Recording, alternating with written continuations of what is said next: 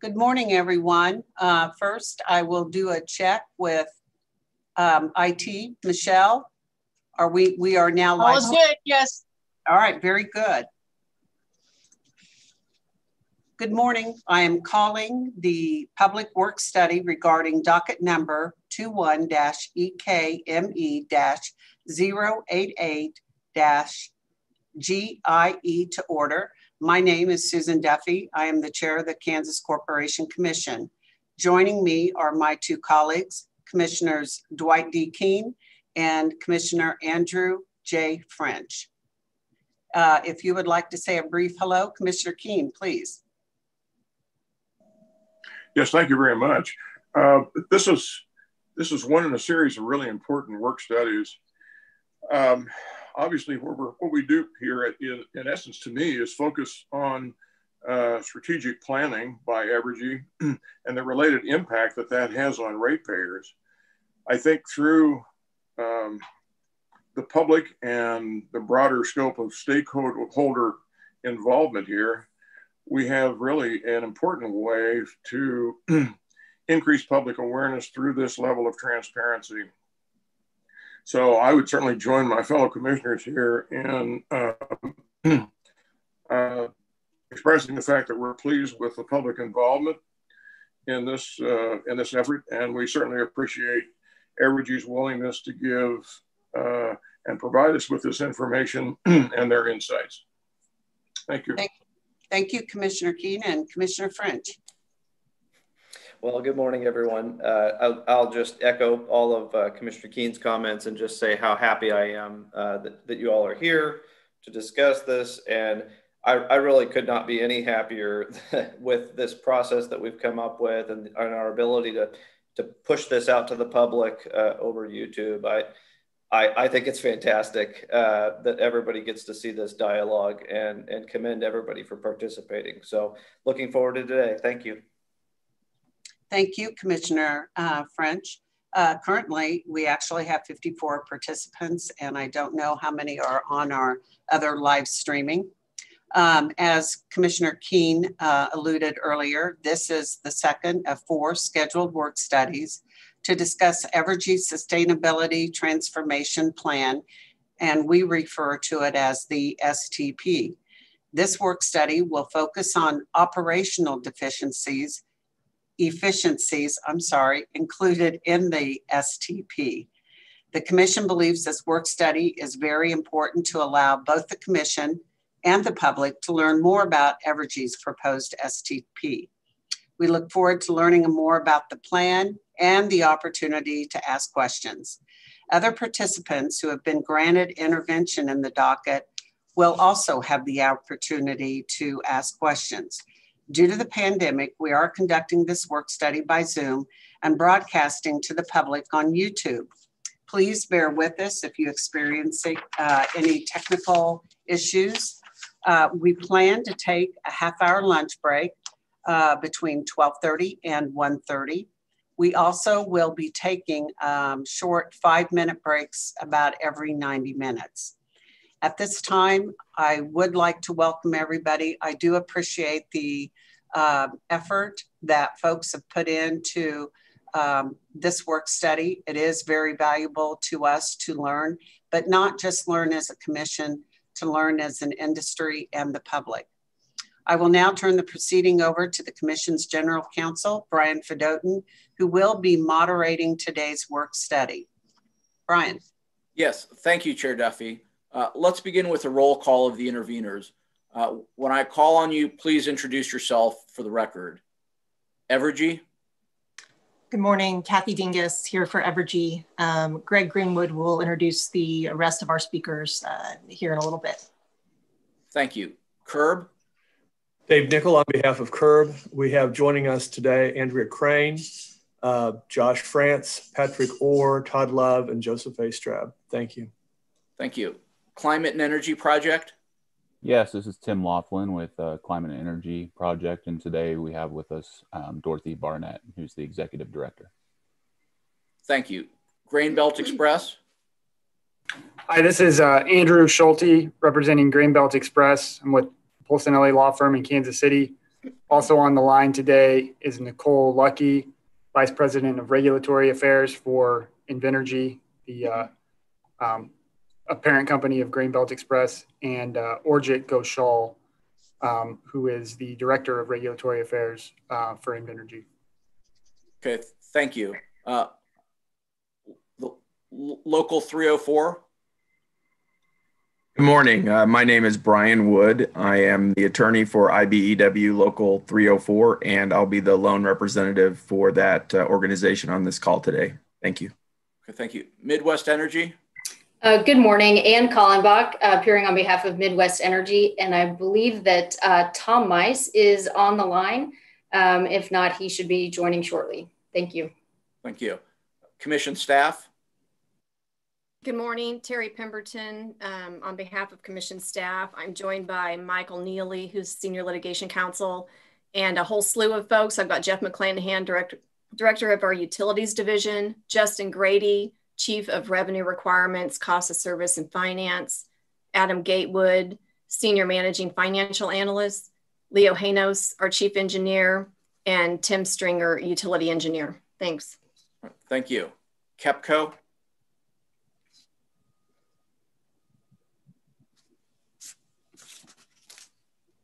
KEPCO?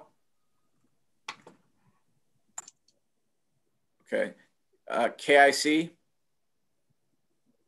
Good morning, Brian. Robert Vincent for KIC. Joining us on the call today are Jim Zakoura and Connor Thompson, also with the law firm of Smithyman Zakoura Chartered. Thank you. Uh, Kansas Power Pool. Good morning, Amy Klein here for Kansas Power Pool. I'm also joined by the Power Pool's Associate General Manager, Larry Holloway. Thank you. McPherson Board of Public Utilities. Good morning. This is Heather Starnes of Healy Law Offices on behalf of McPherson Board of Public Utilities. I also have participating Tim Meyer and Josh Badel, the General Manager and Assistant General Manager of McPherson Board of Public Utilities. Thank you. Thank you. Natural Resource Defense Council. Yeah, good morning, Brian. Um, Thomas Connors appears on behalf of the Natural Resources Defense Council. Uh, we're also joined by Ashok Gupta, who's a senior economist for uh, NRDC. Thank you. Sierra Club. Teresa Woody, Kansas Appleseed representing Sierra Club, and we're going to be joined by Ty Gorman, Kansas representative for the Sierra Club. Thank you. Thank you. Uh, USD number 259. Good morning, Amy Klein here. I'm pulling some double duty today. I'm representing uh, USD 259. We're also joined by uh, one of our experts, David Banks. Okay, thank you. Um, is there anyone on the, the line or any parties that were not called on in the roll call? Yes, Kep, this is Rebecca Fowler, Manager of Regulatory Affairs at KEPCO. We have Mark Doljak, uh, Executive Director of Regulatory Affairs, Kimberly Frank, Outside Counsel, and Susan Cunningham, Vice President and General Counsel of KEPCO. Okay, thank you. Anyone else? Okay. There may be some confidential information discussed today. If so, we'll save that information for the end of the work session. Uh, pursuant to KSA 75 4319B4 of the Kansas Open Meetings Act, which allows the commission to conduct a closed session to discuss data related to financial affairs or trade secrets of corporations. If there is confidential information to be discussed, we will go into a closed session. Uh, individuals affiliated with, with the interveners who have signed and submitted a non-disclosure agreement are permitted to attend the closed session. Members of the general public viewing the live stream on our YouTube channel will not be able to participate in any closed session. Um, with that, we'll begin with a presentation from Evergy. Uh, the presenters will be Greg Greenwood and John Grace. Following Evergy's presentation, the commissioners will have an opportunity to ask questions. Uh, after the commissioners ask their questions, I will call on the interveners in alphabetical order.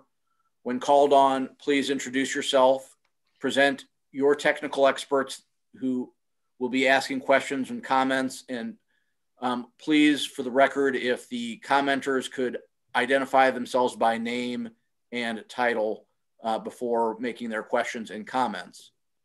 After the interveners' questions and comments, um, Evergy will provide some follow-up to some outstanding questions from the first workshop, uh, including an overview of expenditures by state, rate impacts by jurisdiction, layout of the capital plan views, uh, transmission spend, um, percentage of transmission and distribution systems to be included in the plan, um, STP outputs, metrics, and measures under consideration in capacity versus energy mix. Uh, at the conclusion of Evergy's update, again, we may go into a closed session to discuss any confidential information. Um, with that, I think we're we're um, ready to begin. So, Mr. Greenwood, would you like to introduce um, Evergy's panel? Yeah, be glad to, Brian. Thank you. And my role at Evergy is I'm the chief administrative officer for the for the company. So thank you for joining us for this second work study to discuss operational efficiency aspects of the STP. Can you hear me okay before I get going too far? Okay, thank you. John Grace, our Director of Corporate Planning and Financial Performance, will join me in delivering our prepared remarks. As you can imagine, operational efficiencies span the entire organization, so we have several other Evergy employees available to help answer questions if needed. Some of those employees will likely include Kevin Bryant, our Chief Operating Officer, Bruce Akin, our VP of Transmission and Distribution, and as you'll all recall, those two uh, uh, led work study number one. Also available, Kevin Bryant or Kevin Noblet, Vice President of Safety and Operations Planning, John Bridson, our Vice President of Generation, uh, Darren Ives, who you all know, our Vice President of Regulatory Affairs, Mike Meyer, Senior Director of Financial Analysis, and Terry Thomas, Director of Financial Performance. And believe it or not, we have a few other subject matter experts for different parts of the business that we can call upon um, if needed. And all of those folks will identify themselves uh, if and when they speak. Uh, as Brian said, if your questions relate to confidential information, we'll ask that we defer those uh, toward the end of the meeting. Um, also, um, as Brian mentioned, uh, we will save the last 30 minutes of this session to respond verbally and give an update on the handful of items that Brian listed that are outstanding from work study number one. So with that, let's get started. So on slide two, and are the slides up? Can people see the slides? Oh, here we go. Perfect, thank you. And first of all, a little bit about, about me. I've been with Evergy for more than 27 years. Um, had the pleasure to work uh, in a variety of areas in my time at Evergy, from accounting and finance to major construction, customer care, IT, environmental, and, and other areas. Also, a, a significant amount of time in regulatory affairs, as, as many of you are aware. Uh, my current responsibilities, in addition to regulatory affairs, include supply chain, enterprise analytics, and continuous improvement functions. So here's how we plan to go through things with you today. First, I'll talk through an overview of the full STP, then discuss benchmarking and our cost structure as an overview of how we went about identifying and documenting savings opportunities, the program management structure that we've created, then overview the expectations for fuel, purchase power, and operating savings that are included in the STP. Then John Grace will introduce himself and he'll talk through our savings expectations by major area with discussions of some of the major contributors in each of those areas from across the company. Lastly, John, John will walk through a single example of an efficiency idea, what it is, and the steps that are needed to get it to the finish line.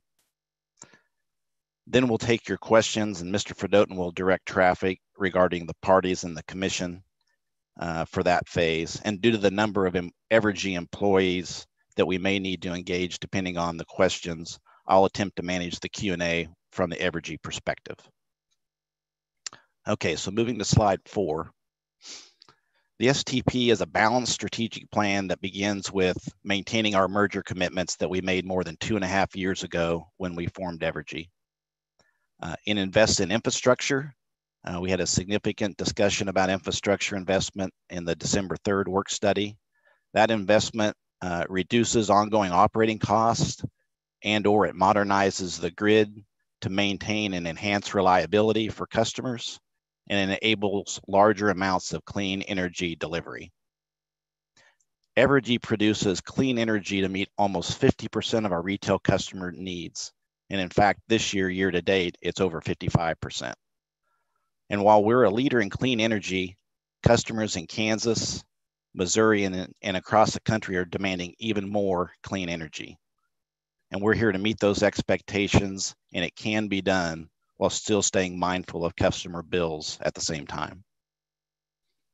When all of this is executed properly, not only will customers get cleaner, more modern and reliable electric system, they'll enable a large local company to remain local by meeting investor expectations.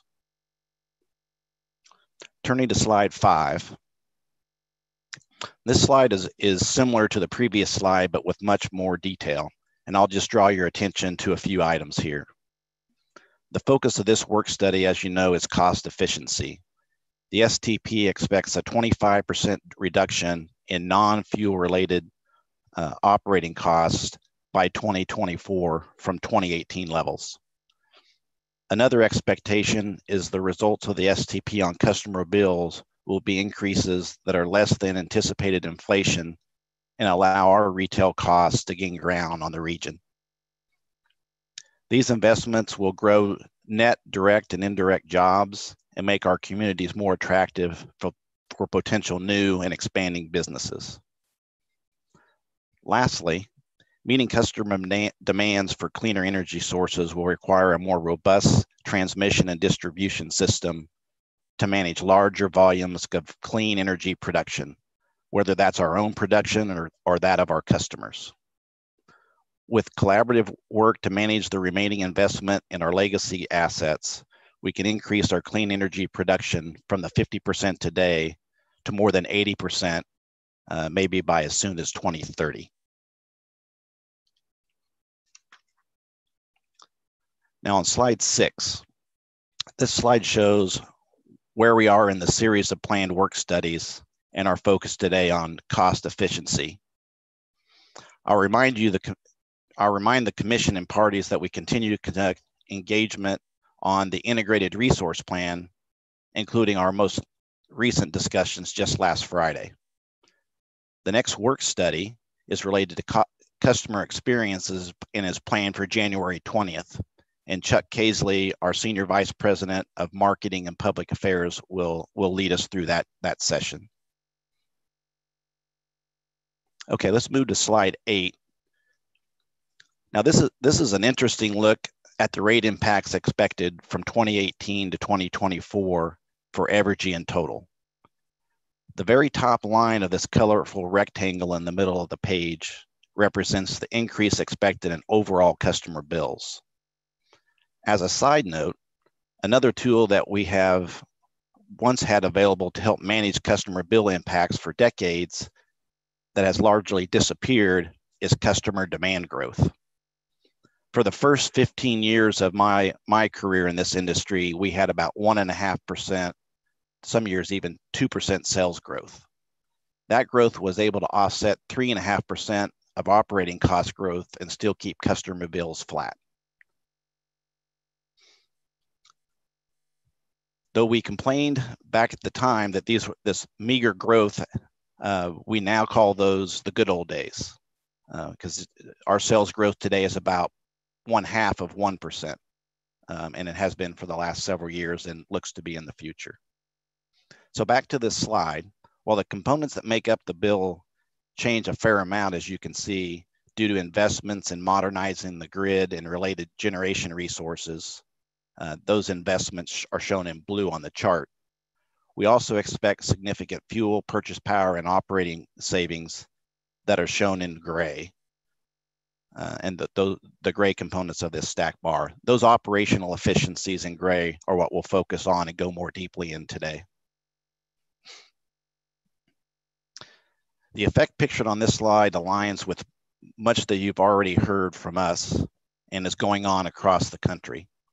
Utilities with customers that have benefited over the past decades from base load fossil generation and from utilization of grid investments made decades ago are, are now in the process of transitioning the grid and supply portfolio to refresh aging systems, adding resilience and modern technology. Much of what we discussed in, in work study number one. Moving to slide nine, this slide shows the STPs sharpens our cost structure while maintaining system reliability. This chart might be the most important slide in the entire discussion today. So if you only remember one, uh, this is it. Here we benchmark Ever Evergy's operating cost structure to our industry over time, beginning with the year of the merger, uh, with very little merger related savings achieved at the time, and ending with our expectations for operating costs in 2024. Now, we all know benchmarking is an inexact science, but we also know it can be helpful in identifying the areas to look for uh, more deeply for improvements. And that's just what we've done. The benchmarking results, which was an early step of the STP process, shows 2018 Evergy cost structure at mid to high third quartile, with fourth quartile being the worst. Now, please give us a little break here as we had we hadn't even begun to realize much of the merge, merger savings available to us back in 2018. Um, the merger didn't close until mid that year. 2019 shows some improvement at, as we completed our first full year as Evergy and begin to realize merger related savings. The result is an improvement to low to mid third quartile.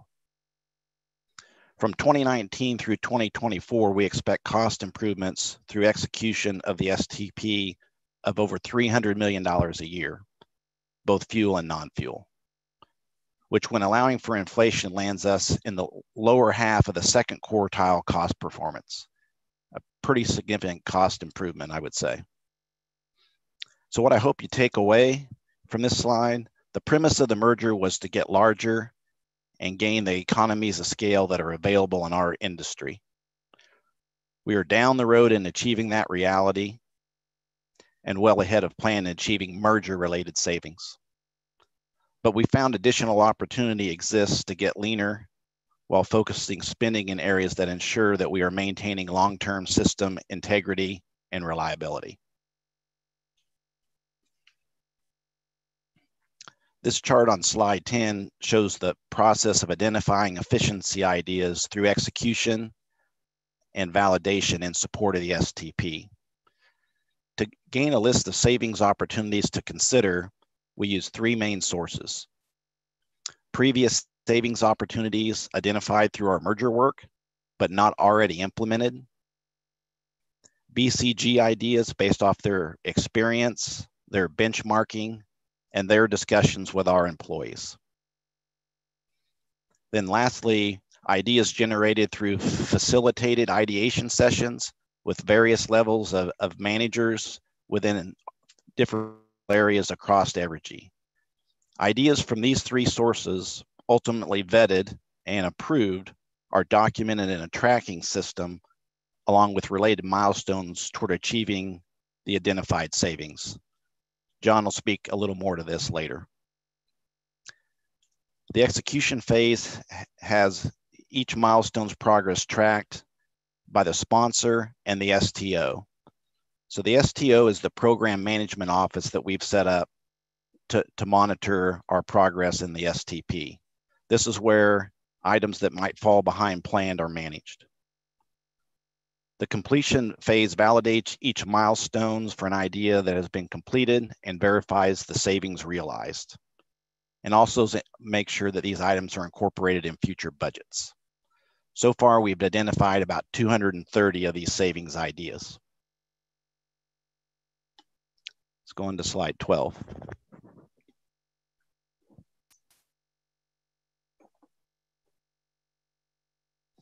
I mentioned the STO, and slide 12 shows the govern governance structure. The executive steering committee consists of all the officers of Evergy and is shown as in the upper left in the bright blue box.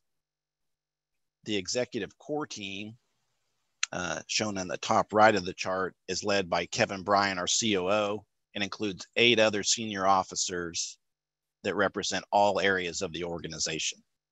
I'm on this team and I represent all the support areas of Evergy, so including HR, supply chain, legal and compliance, finance, accounting, and other areas. The STO team is led by Brandy Wells. You see Brandy in the center of this slide uh, with more than a dozen non-officer leaders across the company uh, representing all of those areas. And that's shown in light blue across the bottom of this slide. Okay, on to slide 13. Uh, this will be my last slide before I turn things over to John Grace. This slide is reflective of both merger efficiencies and our additionally identified STP efficiencies. Our success to date uh, add to our confidence in our ability to continue this work and deliver the results outlined in the STP. We also know from our merger savings work, we won't achieve the desired savings in the exact way that we've planned under the exact time frame that we've laid out. Some items will become larger opportunities, some smaller, while others might be realized sooner than planned, others later, and maybe even a few not realized at all, but with other ideas not known to us today to take their place. we do remain confident in delivering the overall results through the hard work of our Evergy team. This chart summarizes the fuel, and purchase power savings, as well as the non-fuel operating savings expected to be achieved through 2024. And they use 2019 actual results as our base period to measure from. The savings over the time, time horizon is what moves our cost structure to low second quartiles I discussed earlier. Nearly 150 million of fuel and purchase power savings and more than 200 million a year of non-fuel O&M savings annually by 2024. We have definitive savings plans for the vast majority of the opportunities through 2022 and a significant amount specifically identified for 2023 and beyond. John will discuss the components of these savings by functional area over the next several slides. So John, I'll turn it over to you. Um, please introduce yourself and take us through the next few slides and then I'll, I'll wrap things up before questions. All right, thank you, Greg. As Greg mentioned, I'm John Grace, Evergy's Director of Corporate Planning and Financial Performance. My current responsibilities include budgets, energy forecasting, and providing general financial support throughout the company. The next several slides will cover a few more specifics on how we plan to achieve the O&M and fuel and purchase power savings that are reflected here on slide 13. So moving to slide 14. The major areas of expected fuel and purchase power savings come from reducing the refueling outage durations at Wolf Creek and our coal plants through better planning guidelines and monitoring our outage metrics. And we are moving coal plant maintenance outages, outage frequency out to every three years to have them more available to the market. We are currently renegotiating coal and delivery contracts to take advantage of the geographic location of our coal facilities and our economies of scale. By deploying sensor technology on critical equipment and standardizing reliability centered and predictive maintenance practices, we will improve generating unit reliability, which lowers costs for our customers. Improved flexible operation characteristics of units will result in improved load rangeability improved cycling and startup times, and increased ramp rates. These improvements will help us more quickly adapt to the market and capture additional margin for our customers. Now shifting from fuel and purchase power reductions, we'll move to the highest value initiative in generation operations on slide 15. At Wolf Creek, we plan on accelerating the strategic reductions of positions into the STP time horizon and continue integrating Wolf Creek support functions such as HR, supply chain, and accounting within the Evergy fold.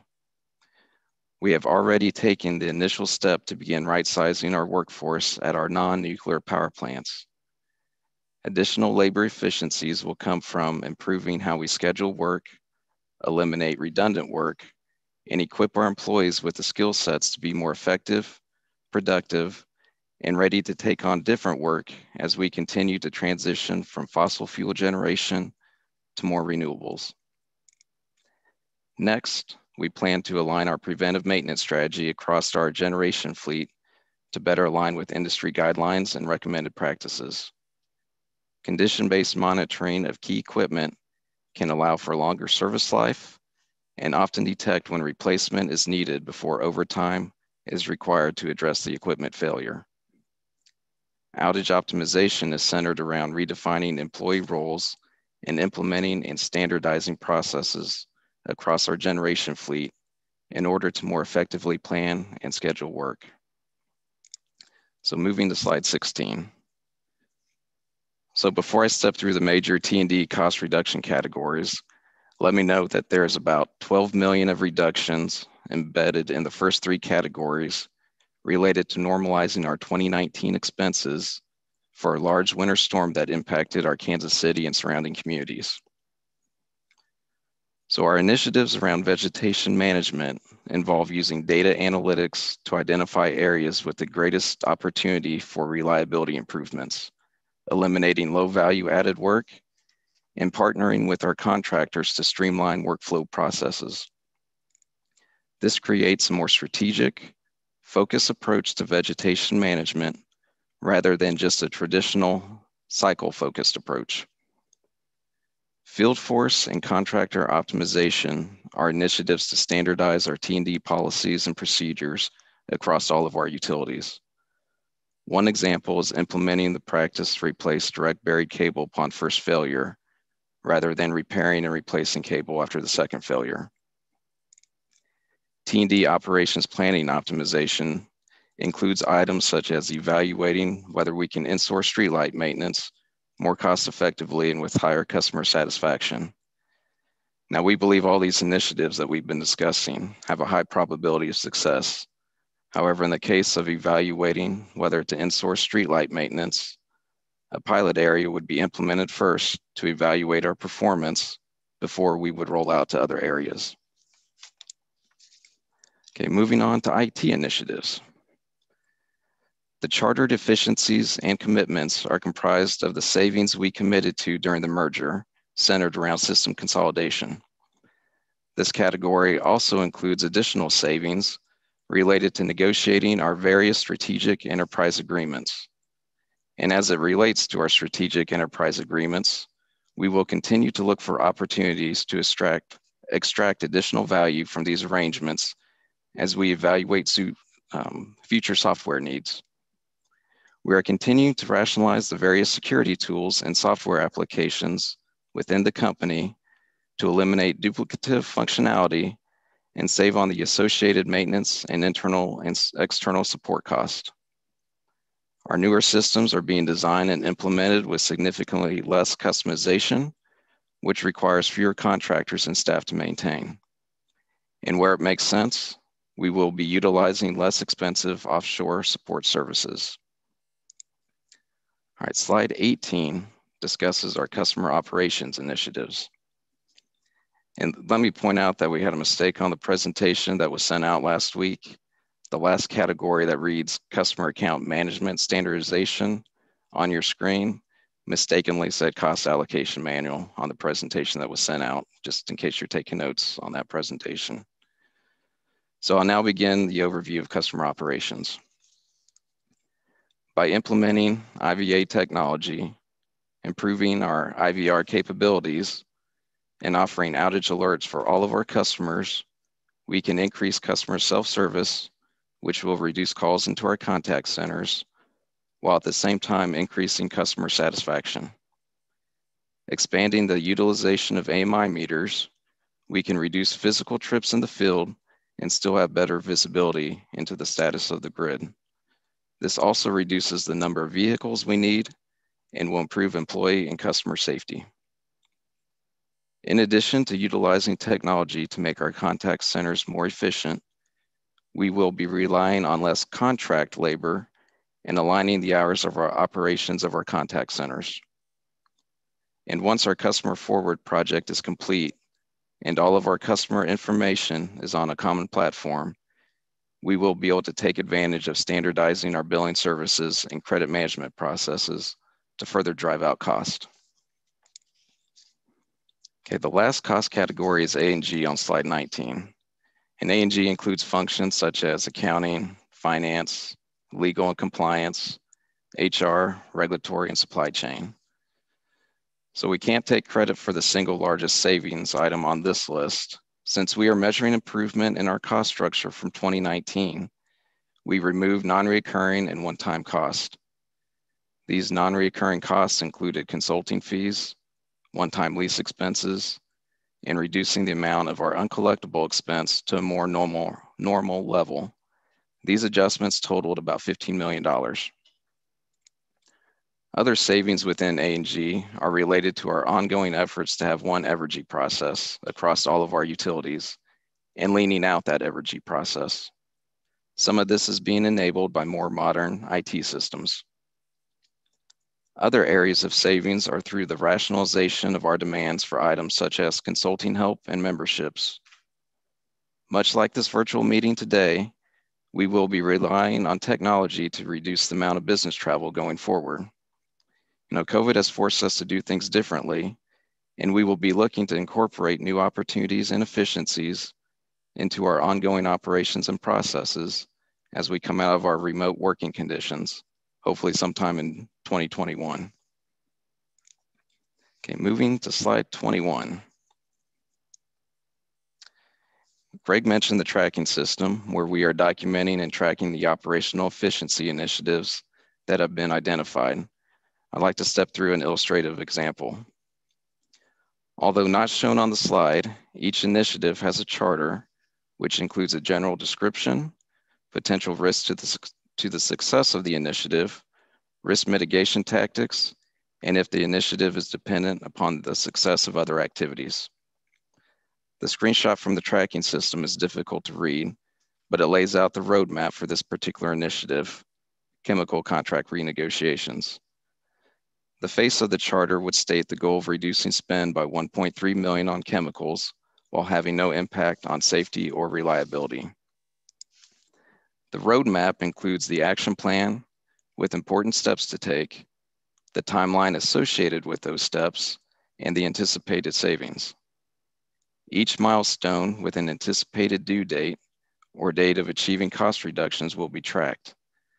The actual date of a milestone occurring and the actual cost savings will be validated through a series of internal reviews and approvals.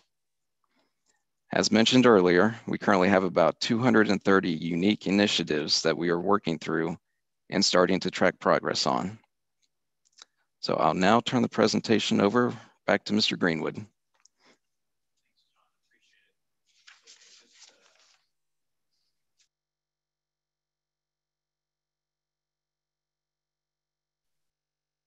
Technology got the best of me. Sorry about that.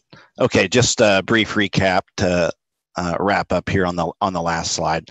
So our employees have built the muscle memory and adaptability skills through merger integration and merger related savings that we have overachieved on to date. The STP leverages this, and with the help of BCG, it has enabled us to create a robust process to become even leaner as an organization. The results of these efforts will allow us to maintain long term system reliability and modernize the grid, all while being respectable of, of customer bill impacts. So we look forward to uh, your questions and the next uh, phase of our discussion today, and I'll turn it back over uh, to Brian.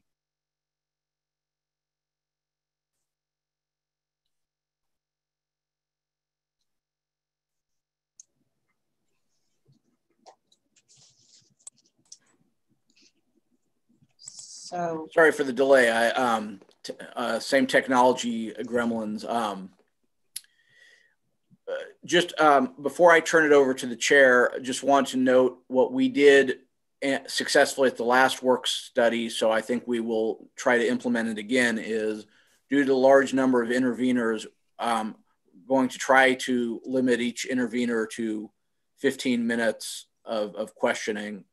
Um, like I said, that worked well last time, and uh, hopefully it'll work well again. Um, with that, um, I think I will introduce the commissioners um, so they may start their questions.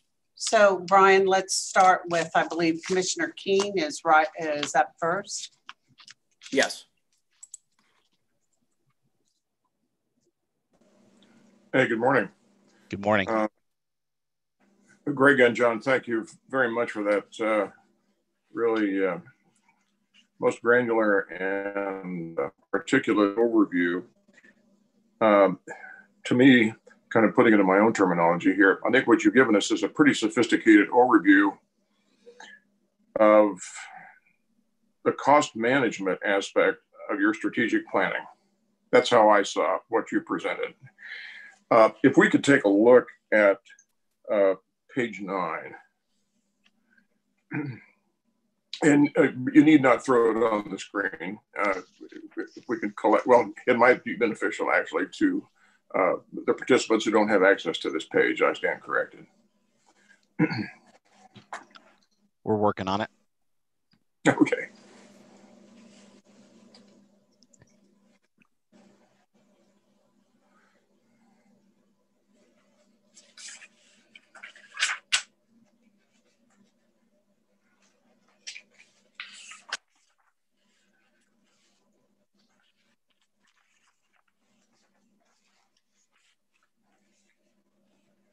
Here it comes.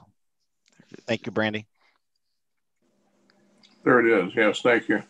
Um, and I, you've identified this, I think, uh, uh, Greg, as perhaps the most important page within the uh, slide presentation. Uh, I think several of them are important, but I'd certainly say this is right up there for sure. And I think, uh, if I understand correctly, this really represents in one diagram here your effort at benchmarking, I think that's the way you referred to it, your cost structure. Um, and from what I understood here, if we if we go from the 2019 actual out to the uh, 2024 anticipated, if I understood you correctly, I think you said that you're anticipating an annual cost improvement of about 300 million per year. Did I understand that correctly? That's correct. And if we look at some of the various functions, uh, that, that's operational cost savings, I presume, is what that is. Can you could you just give a little more definition to to to to, to what that consists of?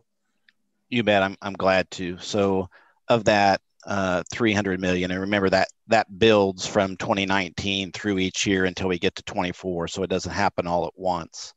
Um, but that's made up of as much as around $150 million of savings from fuel and purchase power and around 200 million a year in 2024 for non-fuel related savings. So th- those two components are the the attributes that move us into the low second quartile uh, in the benchmarking. Okay, very good. And then, as I understood it, Greg, again, the principal drivers for these, as I think uh, from, from what I took it, were basically two major ones. One were one was the realization of economies of scale, and uh, not to say it isn't interrelated, but another major category were the uh, those derived from merger cost savings. Yeah, I think that's fair. That's the one thing that's a bit confusing, but also quite interesting. Uh, when we, uh, at the time the merger was approved, we laid out a plan to achieve over $600 million of gross savings, and that was cumulative over the time frame uh, for the next five years. Two and a half of those five years are behind us. Some of those efficiencies are still ahead of us. And so some of the savings that are included in the STP, uh, a portion of those are also savings that we anticipated for years three through five uh, from merger savings. Okay, very good. Uh, perhaps a, slightly unfair question. I don't intend it to be that way. It just may be that I'm not articulating the question in the best way I could.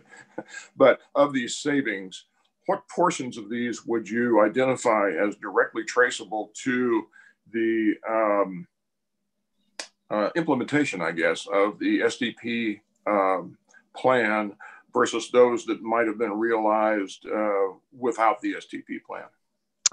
Yeah, that that's a great um, question. It's hard to split the savings between merger related and STP related. Um, so the good news is, uh, regardless of what we label the savings, they all go to the benefit of customer bills at the end of the day. So that's the good news. But trying to to uh, split them. But many of the ideas that John spoke to are uh, items that um, BCG helped us uh, uncover through the, the three different buckets that we talked about. Two of the three buckets of ideas generation came directly out of their help with us. The first bucket, as you might remember, were ideas that we didn't adopt into our merger savings um, leading up to uh, the merger approval because at the time they didn't they seemed like they had more risk than benefit but as time moves on um, it made sense to reevaluate some of those ideas okay um, if, if i could turn to something that may be a little beyond the scope i don't think so really this is your your slide presentation is so holistic it's probably unfair for me to say it that way but um, if i could ask you a bit something about generation if we could turn to to that topic just a bit. um, I guess the question generally would be, um, will the company realize any additional generating generation efficiencies through the STP process?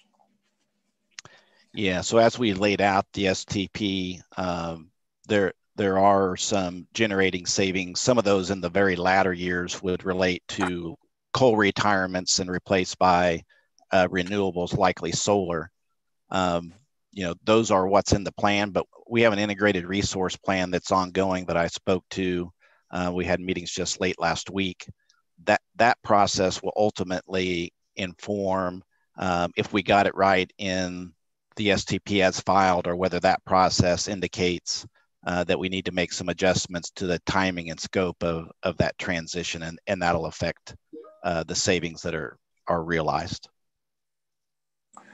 And if if memory serves, I believe the the next step or, the, or one of the final steps, one of the final near-term steps uh, with respect to um, uh, the IRP is going to happen in advance of our fourth work study. Am I correct in the in the time sequencing on that?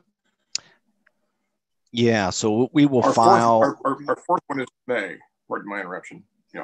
Yeah, so we'll, we'll file our integrated resource plan um, in Missouri uh, the end of March, first day of April. Um, our filing date for the IRP in Kansas is July 1st.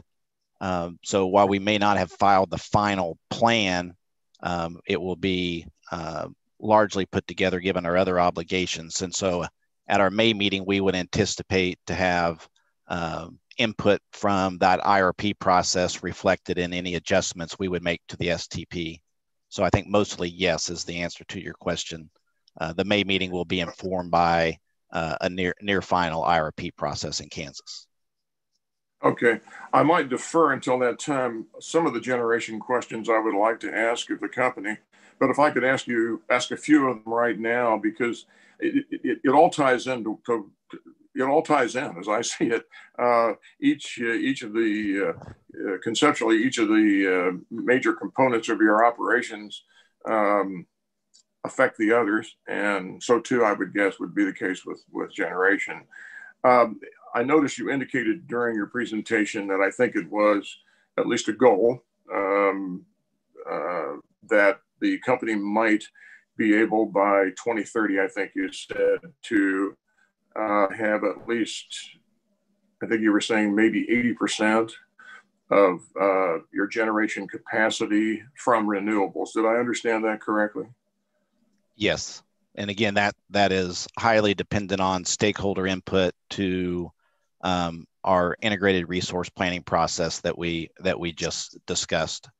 Uh, but certainly, that is an outcome with uh, stakeholder support and uh, to you know a, a, method in which we can manage the remaining investment in our fossil fleet would allow us to to get to those levels of clean energy. Sure. Um,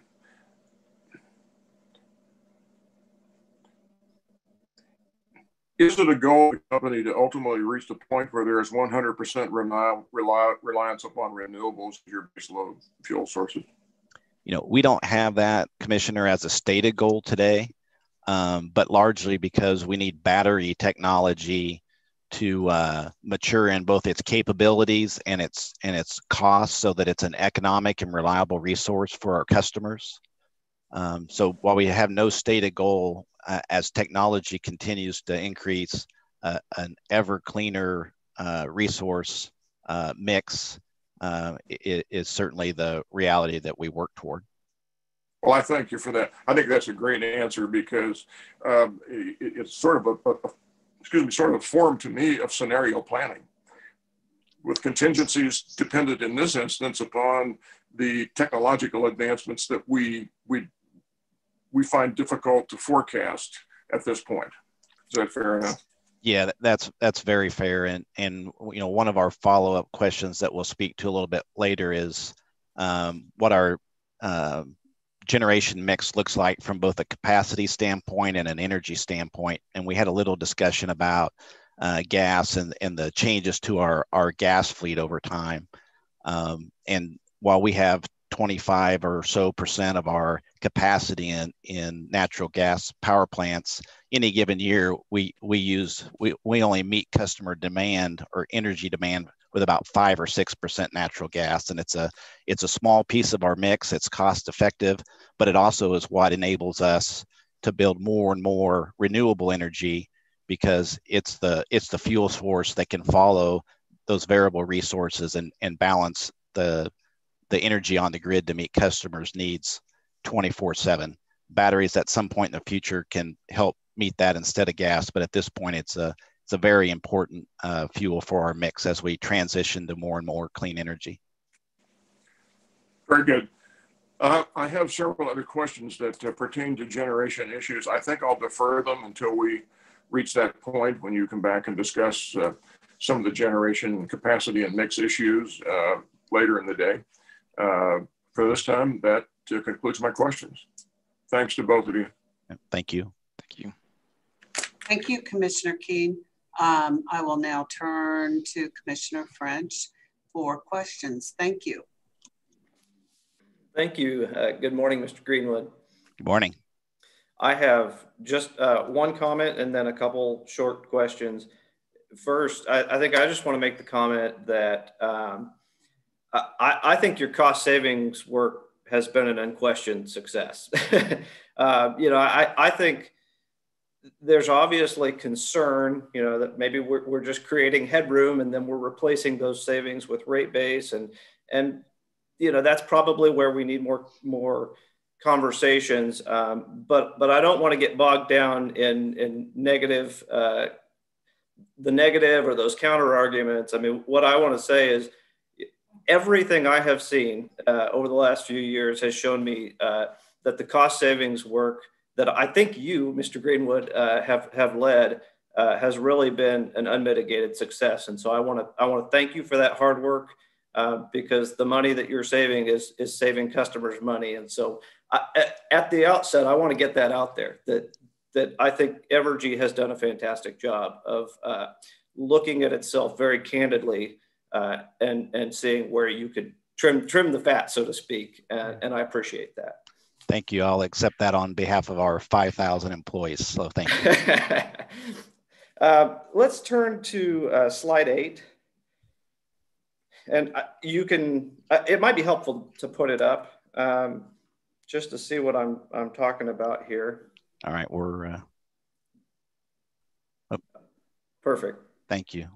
Um, you know, Commissioner Keen went to slide nine. I'm going to slide eight as my favorite slide. I I, yeah. I really like this slide um, because I, I think it basically tells the whole story, the whole mm-hmm. story of sort of the merger and the and the ongoing STP effort. Now, granted, different different stakeholders are probably going to see a different narrative uh, in this slide, but I think it is a really illustrative slide um, that that just tells the whole story.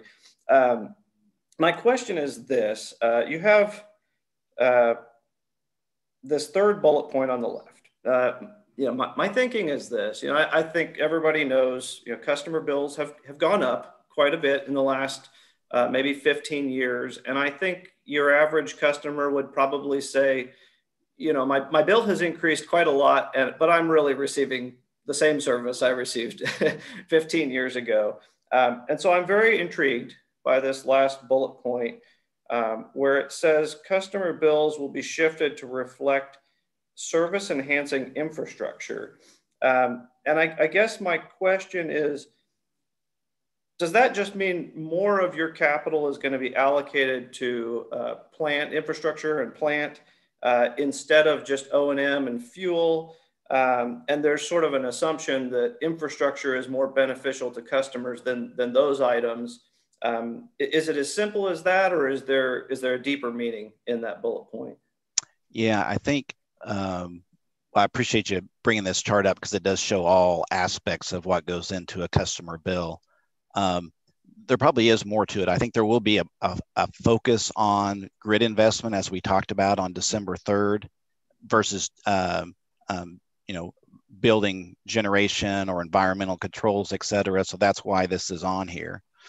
What Mr. Akin talked about um, in work study number one is that we always have more projects that we could uh, invest in on behalf of customers than we have capital available. And, and when I say capital available, I'm not talking about our ability to raise money in the capital markets. Um, our, our ability to raise money in the capital markets is not the limiter in, in why Mr. Akin can't build that next project. Typically, it's customer bill impacts. Um, and I know people like to pick on utilities and pick on Evergy for uh, uh, cost increases, um, but but they are at some regard a, a, reality as much as we try to to uh, to measure them. So we we have investments that we feel like may make uh, have positive benefits for customers that typically um, we can't get to them. Um, to try to manage overall costs to customer bills. The STP and the operational efficiencies that we just talked about are the things that allow us to move a little further down that list to modernize the grid, to, to arrest any degradation in system reliability that we know will happen at some point and, and, and even enhance that reliability. So I, I, hope I answered your question, but I'm not 100% sure that I did, Commissioner. I, think so. You got a lot in there. Um, I mean, I, I, think it's an important question, and it's you know it's important in anybody's evaluation of the STP. Um, you know, to understand if we're spending more, what are we spending it on? Um, you know, and, and to the extent it does enhance customer service, that's you know that obviously goes in the in the good column. So uh, that that's a helpful comment. Let's move to that slide nine, the next slide. Um, And I, I, don't know that this number is stated here, but but you talked about it, and and Commissioner Keen talked about it that that we're seeing um, about a three hundred million dollar reduction uh, to uh, to ex your expenses, um, you know, over this process from 2018 to 2024, and I, I guess this is this is the an overarching question to me and, and it's going to sound a little antagonistic and i promise i do not mean it that way. Um, it's a question that i think customers deserve to know the answer to or to have an explanation of and i, and I think it's a question um, that you need to have an opportunity to address with customers and since we're streaming to the public you know i want to ask it um, you know can you explain to customers um, why Evergy pro projects uh, to keep rates at similar levels to even increasing uh, at the pace of inflation if the cost of serving customers is going to reduce by $300 million a year. Why aren't customers receiving a rate decrease, a big rate decrease, uh, as a result of, of the cost savings of $300 million per year?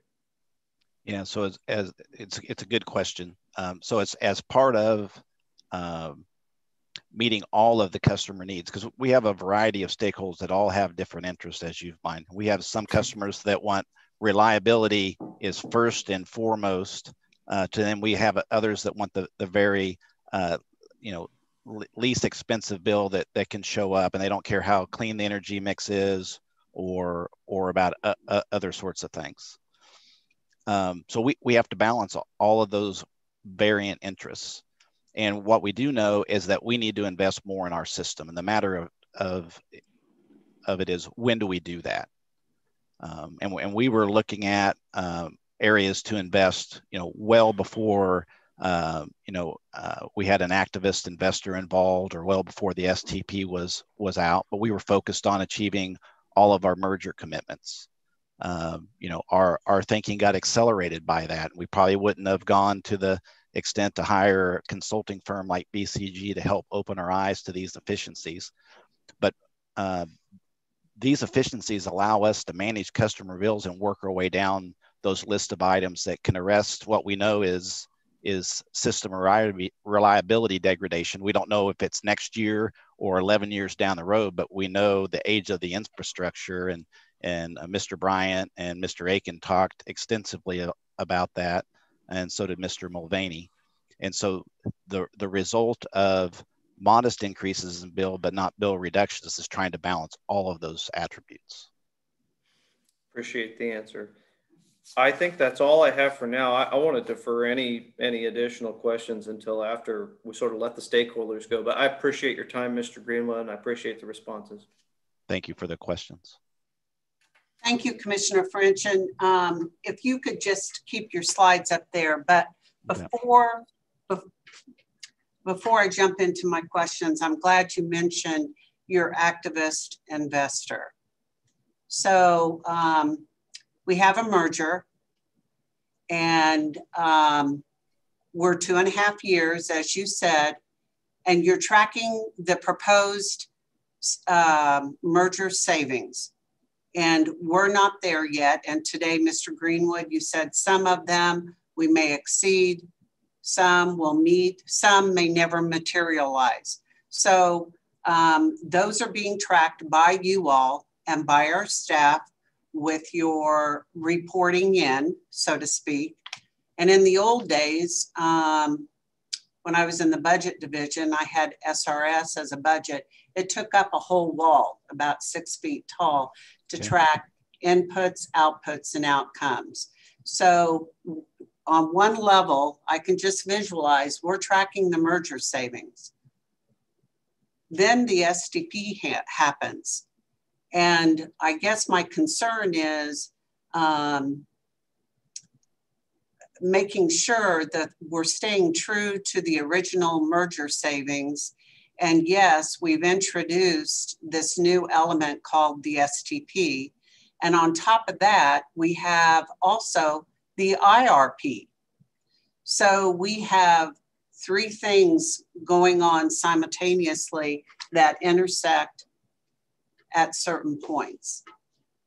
But I do believe that it's important and that we stay true to the, um, the original commission's uh, merger um, and the agreement on, on the amount of savings to be materialized by the merger, again, outside of this STP. And why, why was the STP initiated? If you could respond, Mr. Greenwood.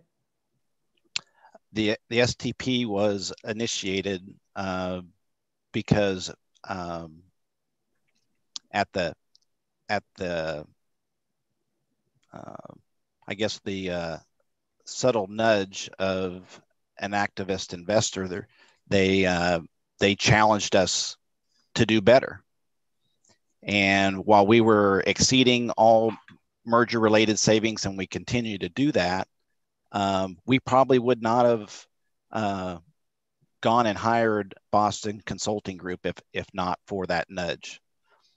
But all the components of the STP, IRP process, cost efficiencies, where to invest next, those were all things that we were already looking at, trying to figure out. We know what we need to invest in the time the, the matter is when when is it time to do that and and and try to improve our regional rate competitiveness we, we couldn't we couldn't do that at the time make those investments because our cost structure didn't allow it to, to maintain customer bills at a, at a modest impact. Through our work with BCG, um, they opened our eyes to additional efficiencies that go well beyond any merger expectations for operational efficiencies and, and allowed us to, to make uh, additional capital investments on behalf of customers to, to modernize the grid and make it more reliable long term. Okay, so um, when, let's say the STP hadn't happened and there was a freeze on the increases to customer bills for um, a period of five years. So when the five years was up, you anticipated a rate, a rate uh, increase at that time. Is that correct? That that would that's that's correct, and in fact, it's it's almost ironic. But if you look at what we call our base plan or the the plan that existed uh, prior to the STP, and then compare the, the, the revenues that retail customers pay between those two forecasts, even with the increased capital investment, but also with the operating savings, net customer bills across both states, I can't bifurcate it between Kansas and Missouri, was actually over $100 million lower with the STP and, and is lower than the STP. Okay. So, and um, playing into all this is the fact that there is virtually no load growth, no growth at all. I believe you said it was one half percent of 1%. Yes, um, one half one half of one percent. Yes, one percent. So that's virtually just static. Is that correct? Well, again, our industry typically saw one and a half percent, and um, so any growth helps offset inflation and other cost increases without a customer's bill going off up. So while a half of one percent is modest, uh, we're not going to diminish it because it, it's all part of that growth helps keep customer bills low. Okay, so if we could go back to page eight um, on bullet two, where we talk about the approximately 2% annualized. So that would be annualized over how many years again? Uh, five year five year so period. At the end of five years, we're looking at a 10% growth. Uh, we're we're looking at um, what we've said. 10% increase rather. Yeah, it wouldn't it wouldn't be 10%. So what we've said in our STP, we're rounding numbers, but the the compound annual growth rate for that five year period, as stated in our STP report from August, is 1.6%. Even uh, with all the savings that you've articulated, um, still resulting in an increase for this um, for for customer bills. Yeah, about about one and a half percent per year. And again, that's across all four of our utilities. Right. Okay. And while I think you all refer to it as a modest increase, um, living in the budget world for years, that 2% um, really, um, when they talk about a growth, you always refer to it as modest. But when you were asked to reduce your budgets by 2%, a lot of times agencies felt that was draconian. So it kind of depends on what side of the dime you're on. So, um, yeah, and annualized, I think, is the other concerning um, thing. And I've talked about this before. So while we were on this page, the other column, what does that specifically refer to? I think you talked about there was a slight increase there. What is other? Boy, I'll uh, look to uh, look to my team for help. That may just be you know property tax surcharges and the like, but um, look look for a a lifeline from my team. Okay.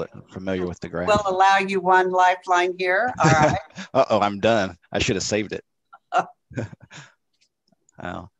I'm not hearing anything. We'll okay. we'll take we'll take right. that question back. Sure. It's it's I've always kind of looked at it as a kind of other and rounding, but we'll uh, we'll see what we can find for that.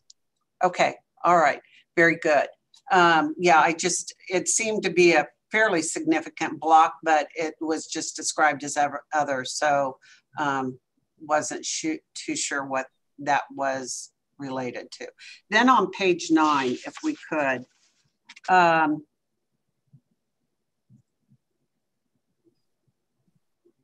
so um, you you discussed about something getting larger, Mr. Greenwood, and I was trying to track where you were on these quartiles and not sure um, what it was in relationship to. Um, I might be able to help. okay, if you would.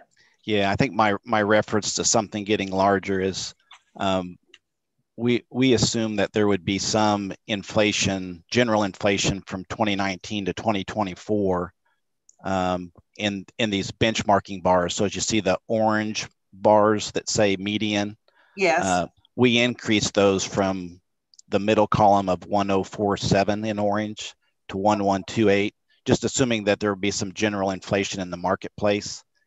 Um, because we we were trying to when benchmarking is tricky business, uh, trying to do it years out, you've got to make sure that uh, you assume something about how the benchmarks will change, not just your own cost structure. So we were trying to keep it apples to apples was our um, by by putting that increase in there.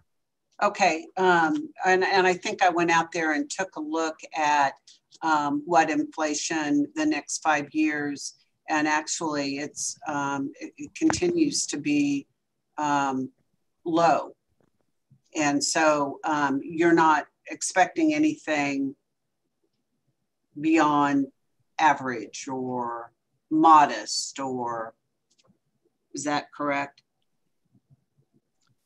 As far as how the the benchmarks might move in the future. Yeah.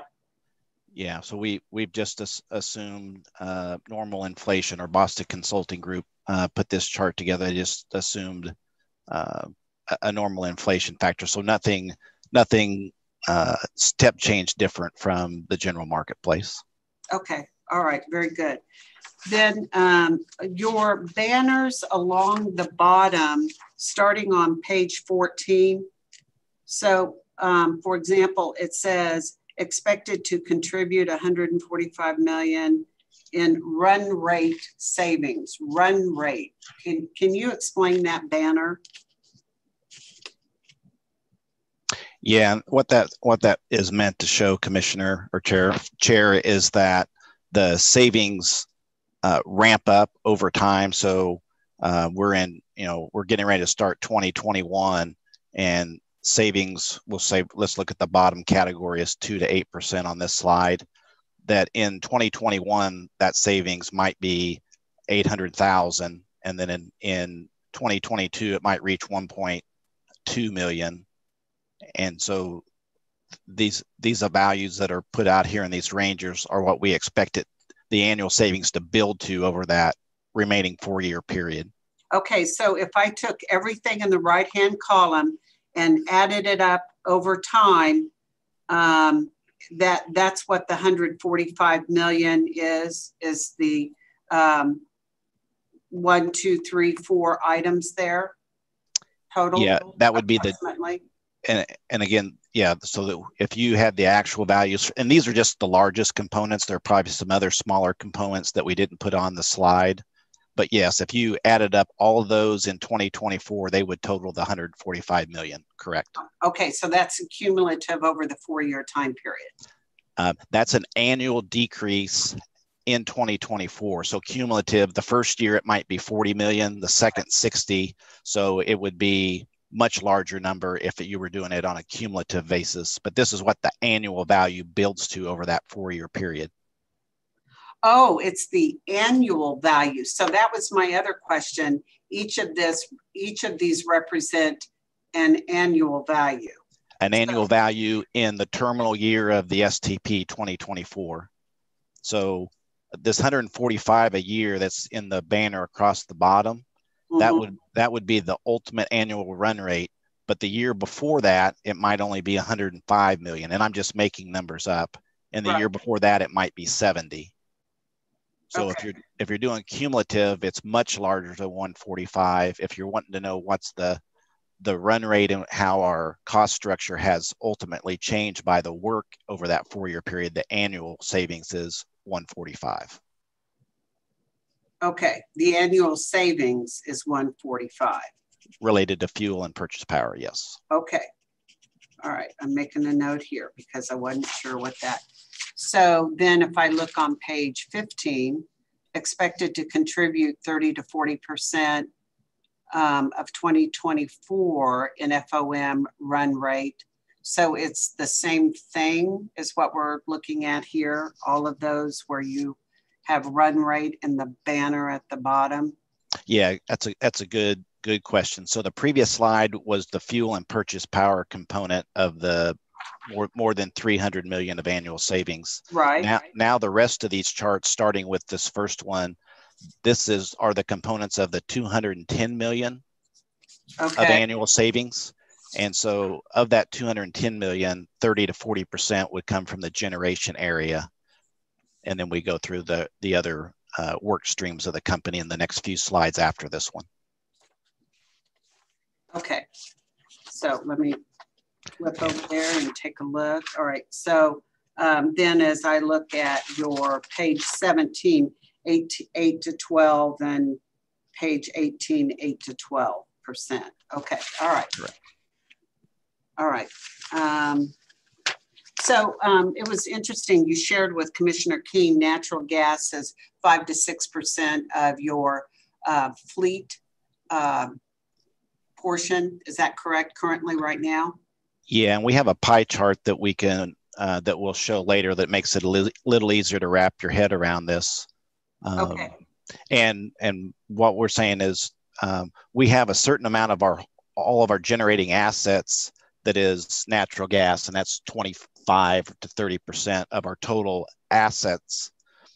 On an annual basis, when we go out to actually generate energy for customers in the most cost-effective way, we only end up producing about five to six percent of that total energy from those gas assets. So it's a matter of installed capacity versus how you utilize it to most economically serve customers. Okay, all right. And Mr. Greenwood, as you're in charge of um, administrative things, so that would be staff overall, staff salaries and wages, and and um, OOE, that sort of thing, right? Yeah, that, that's actually in our human human resource area, which is outside my purview, but but okay. Um, in terms of savings there related to staffing levels, um, are there proposed staffing levels savings beyond the merger totals? Uh, there are. Uh, yes, there are does that result in reductions, for example, here in Topeka, or where specifically can you provide like where um, those would occur and what they are, whether it's field staff or um, office staff? Yeah, great, uh, great question. Our our field facing employees, those those uh, those levels don't change uh, as part of the STP or as part of our original merger plans. So uh, field force folks are, are the same. Um, so support functions uh, are the areas that do get smaller over time. Um, and um, uh, from we when, when we do release staff, we'll reduce it generally balanced across Kansas and Missouri. Um, and we obviously have a specific commitment to Kansas to maintain certain numbers of employee staff, and we'll will first and foremost, you know, the first uh, commitment we had when we put the STP together was to to stand stand by all of our merger commitments, which which we will and we do. Okay, all right. And in terms of customer support, um, I know that with a more modern system that there's perhaps more responsibility on the customer, but uh, what about that area of customer um, support that when you dial a number, there's somebody there. Mm-hmm. So we our customer support folks are are centered in Raytown, Missouri, and in Wichita, Kansas. And as we get on one customer platform, which will happen early next year, um, we'll have lots of leaning out of processes and and uh, installation of technology. So we will evaluate over time as that technology gets in place and customer preferences. As much as you and I probably like to talk to someone on the phone, I know my uh, my kids, the last thing they want to do is talk to a, a call rep, they want to do online chat or uh, you know do something on a on an app on their phone or something. Um, so we'll we'll evaluate customer needs to make sure we can meet their expectations for service levels, and um, and and we'll see what that that leads leads to from a you know technology standpoint. Okay, thank you very much. And yes, I'll um, we'll wait for the rest of the presentation for um, additional questions from commissioners. Thank you, Mr. Greenwood. Um, thank, you. thank, you. Mr. Grace. We um, appreciate your presentations today. So at this time, I believe I'm turning it over to Brian. And um, Brian, do you want to, um, I know we're getting close to 1030, an hour and a half, but I would like to get, uh, or excuse me, 1130, um, couple um, of of uh, the interveners um, completed before we take a quick five minute break? Sure. Sure. Uh, thank you, Chair Duffy. Um, yeah, I'll, we, we can begin hearing from the interveners now. And as a reminder, um, when you introduce your questioners, please identify them by name and title. Um, and likewise, if uh, whoever is responding uh, for Evergy could also identify themselves. Um, and if there are any questions that relate to confidential information, please reserve those uh, for a potential closed session at the end of the work study. Um, with that, we'll start with the interveners in alphabetical order. So uh, CURB and Mr. Nickel. Brian? You, Brian. Yes. Uh, sorry, sorry, Mr. Nickel. Um, just real quickly, uh, I have to jump off here for another hearing here shortly. I did talk to my expert for NRDC, and, and we don't have any questions for this part of the presentation. But I just wanted to make you uh, aware that way, uh, if you if you call our name, that we don't have any questions at this time. Okay, thank you, Mr. Connor. Thank you, Mr. Fedotin. Uh, Dave Nickel on behalf of CURB. Uh, we will abide with the 15 minute uh, time limitation that you have with regard to questions. Our questions will be posed by Andrea Crane, who is president of Columbia Group and our uh, expert um, consultant in this matter. Thank you. Hi, can everybody hear me okay? Yep. Great, great. Much better this, this session than last session. uh, um, my first question is um, you mentioned that later on in the presentation, you will be providing some updates um, from the first workshop. Uh, you'll be providing some updates in response to some questions that, that arose there. Um, I just wanted to know if you sent out any written material relating to those updates prior to prior to today? No, we didn't send out any materials prior to, but these are all uh, requests that after the meeting we'll send more formal written responses to what we cover verbally today. Okay, thank you. Yeah.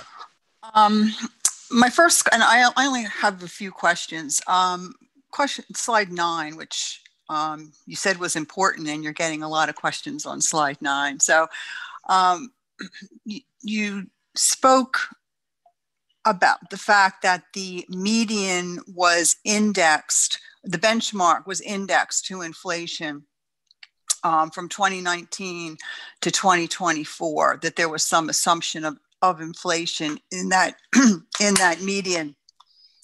I just wanted to confirm that the companies estimates of its own performance on that slide similarly include an estimate of inflationary costs over that period? Yes, they do. So the the results on there for the company's performance, we expect that to be the the nameplate value of our expenses on our financials in those years. Okay.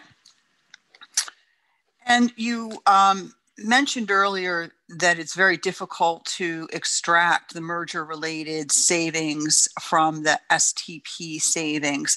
But I guess my question is um, how much of the merger related savings had not yet been achieved, um, let's say by 2019, or as you begin the STP or whatever frame of reference you want you, you you'd care to provide?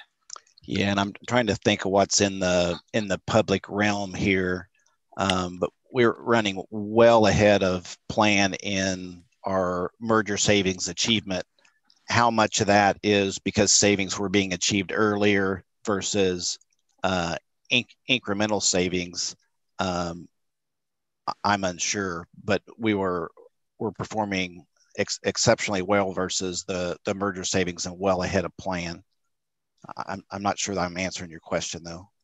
Okay, and I, I, maybe I should know this, but I don't off the top of my head. Is there some document or some place where you're providing on an annual basis um, reporting the total merger savings by you know by year? Yeah, help. Trying to think of what the parties get confidential. I'm looking around the room here, Andrea. Give me just a second. And I'm not necessarily asking for numbers now. Just is there a document out there that you file regularly? Because I mean, that maybe there is, and I just don't get it. Yeah, Andrea, this is uh, this is Darrin Ives. I mean, we we have been providing uh, uh, updates to, to, to CURB and staff and the commission in the uh, in the merger docket that have uh, talked about the the success on the the merger efficiencies and where, where, Mr. Greenwood I think is struggling is there's there's usually two versions of that. There's a there's a high level that shows kind of the level we're exceeding the plan, but then there's a confidential version that uh, has a little bit more detail in the specific areas where where that occurs. But I think we're now at least have been on a six month cycle here lately. Okay, thanks, Darrin. Um, there's been a lot of discussion too about this um, $300 million reduction and why isn't there a, uh, why can't um, ratepayers expect to see a rate reduction um, given the fact that there will be this $300 million reduction that we talked about on, on slide nine. And I guess I, I just kind of wanted to, to point out and confirm that slide nine is just non-fuel O&M. So while that is being reduced by 300 to 350 million dollars. Actually, if you flip back to slide eight, that's really more the total revenue requirement. And that actually is, even as shown on this schedule, does increase from 2018 to 2024. So um, on the on a total revenue requirement basis, you are not you are not projecting a reduction in that in that revenue requirement. Is that correct? That that's correct, and that's why Commissioner French pointed out that he liked slide eight over slide nine because it was the whole picture. Um, and I think Commissioner Duffy made the other comment. The reason to go from eight to nine for purposes of today was to, to narrow in on the, the topic of today, which was uh, operational savings. But okay. you're, you're, absolutely correct. And and in slide eight, is there um, is there like a scale, like a vertical scale? I mean, do we, you know, do, what what are what are these totals in terms of dollars that are shown here on a revenue requirement basis? Yes, there, there are dollars that back this up for purposes of staying in the public realm. We, we've displayed it this way so we can have a discussion around it. But yeah, there there are uh, financial models that have the the component pieces to that. Sure. Okay, so that was a confidentiality concern then. correct. Okay. Um, let's see. I had a question about 14, but I think the uh, the chair actually, Chair Duffy actually uh, asked that. So I guess 19 is my next one. And on 19, there's um, a reference there under one-time cost um, of, of a change or reduction um, to short-term incentives. Um, can you can you provide any more explanation about that impact on short-term incentives and whether that was a, a prospective change to incentive programs or was that a, a non-recurring type of type of charge? Yeah, that, that was much like we do when we have rate cases, Andrea. As you might remember, we usually smooth that with a three-year, five-year average, et cetera. The actual payout in 2019 was above the, the target. And so we just reduced that to the target level for purposes of uh, normalizing uh, cost structure. Okay. Okay. Thank you. Um, finally, um, the when I when I try to compare some of the information in your presentation to um, some of the underlying numbers, and I won't get into any numbers um, this morning or the it's, it's actually afternoon where I am. Um,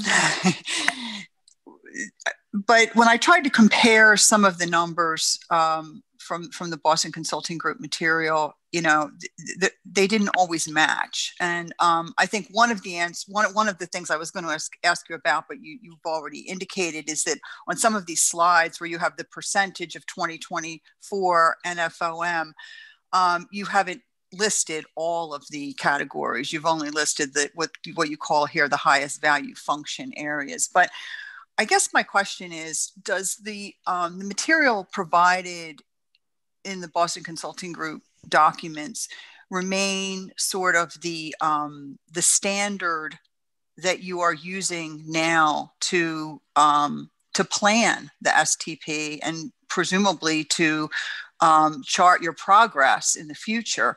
Or have you taken those numbers and made further revisions to those? And is there some other document now that is um, that has sort of almost replaced the, Boston, the Boston Consulting Group documentation and that you're working from? Because I know, I think you mentioned in the last workshop that there have been some changes and maybe some dollars flipped among categories and that sort of thing. So, so what is the current planning document that the company is using? Uh, the, the current planning document is uh, uh, a, a, financial forecast that is that is confidential um, and it ties in large part to the report that we filed in August. You remember the BCG materials uh, were finalized in the month of May, and they're they are strongly indicative of what makes up the STP. But even as you look through there, you, you will see certain pages that talk about management's view, BCG's view, and so there were places where um, we didn't have perfect alignment with what uh, me and my colleagues thought were possible and what BCG thought.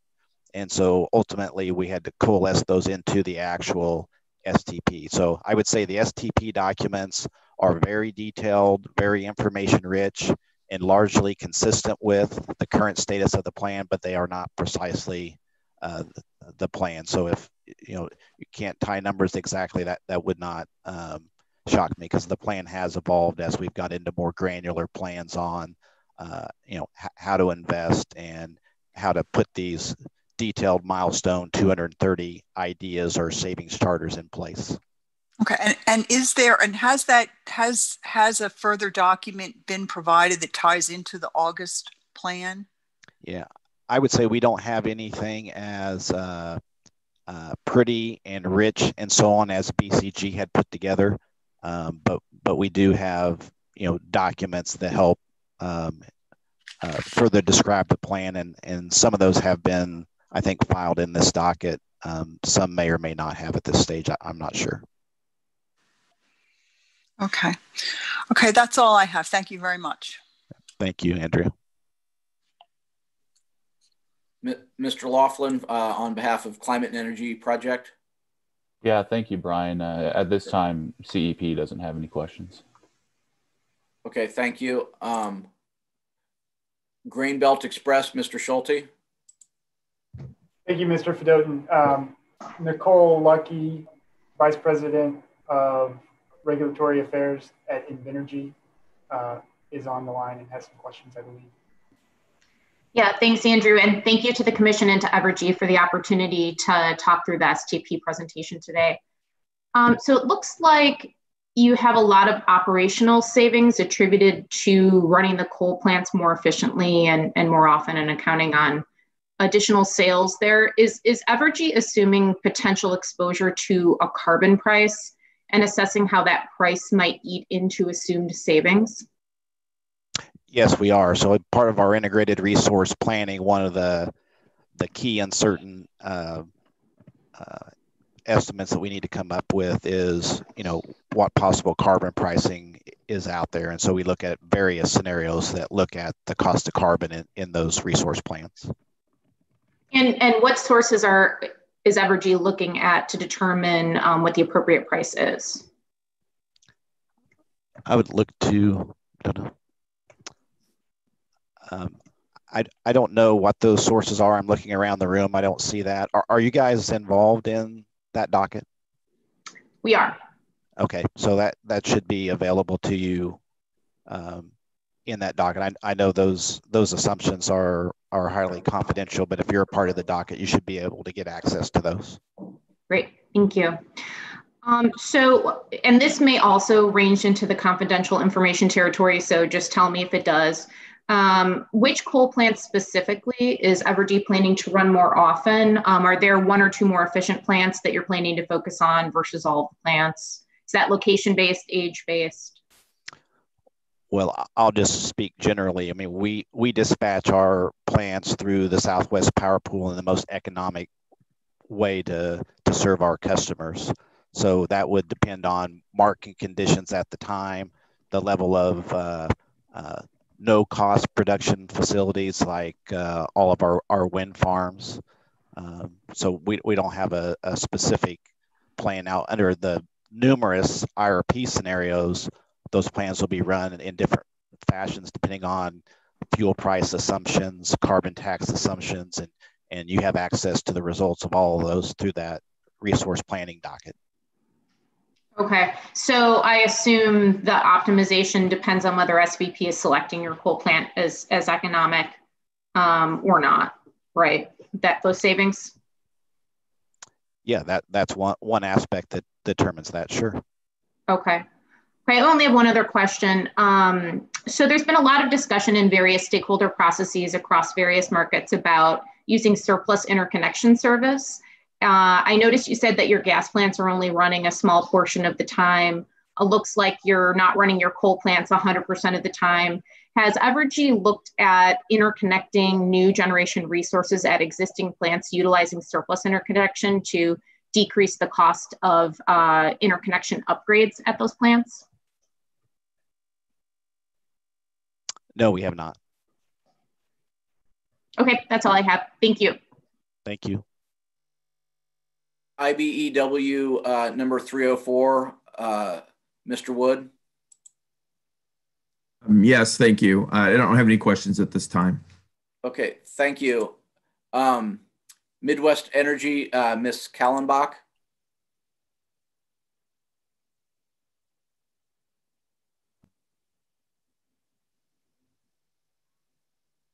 Midwest Energy, Ms. Kallenbach. Yes, thank you. Um, I'm trying to see if Tom Mice is still on the phone. Tom, are you still are you still engaged in?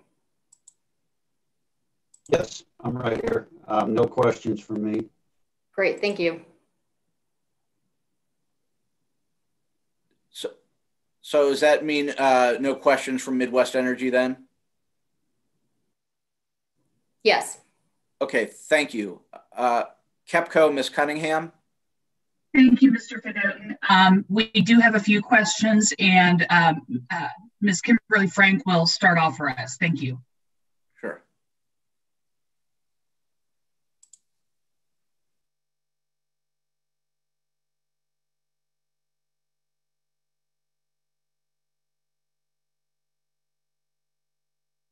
Ms. Frank, I think you may be double muted. Well, she, had trouble with the mute process earlier, so we'll we'll see if we can get it figured out.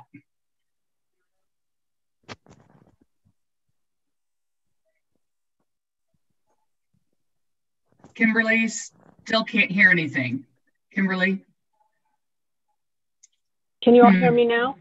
Yep, there we go. Thank, thank you all for your patience. I, I think I was triple muted. The the uh, the question that I would like to ask is to focus on some of the PowerPoint presentation pages, starting with page 16, and then also the spreadsheet that that Evergy provided in response to KEPCO request 1.3. Now, that spreadsheet is not designated confidential, and the numbers that I'm looking at here are large numbers, so they're they're aggregated. And I was wanting to confirm that it was okay to just name those, uh, uh, list those numbers out in the in the spreadsheet. Is that all right? Give me the data request number again, please. One dash three it's it's a summary of the values um, that are found in some of the tables and pie charts in the in the STP.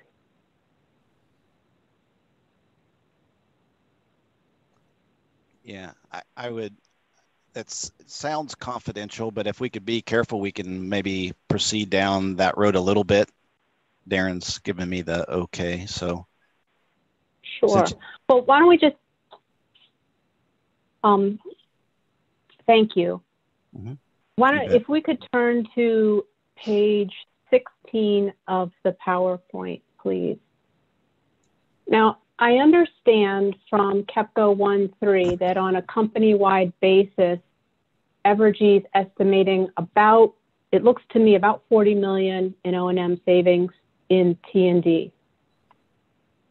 And I was hoping that you can help us understand what share of that estimated $40 million is uh, jurisdictional to the Kansas Commission, the Missouri Commission, and the FERC. Do you have those numbers or would you be able to provide them? Yeah. I don't have those at the T&D level. I know generally across all the operating cost structure as we've modeled them, the savings kind of fall out consistent with our customer base, which is kind of 60% ish Kansas, 40% Missouri uh, on an overall cost structure basis. But for transmission only, I don't have that available to me. Um, if we did, I would probably need to talk to that in confidential session. So maybe we can uh, we can table that one, and maybe at the lunch break before confidential session, maybe we can figure out what we what we do have. Sure, thank you. And do I understand correctly that uh, page 16, the um, the numbers, the values here, the 2024 run rate savings, that's for Evergy company wide, right? It is, yes. Yeah, all of these are. Okay. Mm -hmm. All right. Now, um, if you flip back two pages to page 14 of the PowerPoint. And this goes back to, we're looking here at generation and fuel and purchase power. Um, and again, going back into KEPCO 1-3, I think we've got an estimate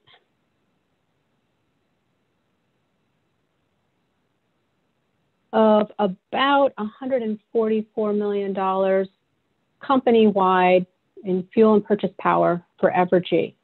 Um, but I'm looking here, and it, it, appears to me that uh, a large portion of that savings is coming from Evergy Metro.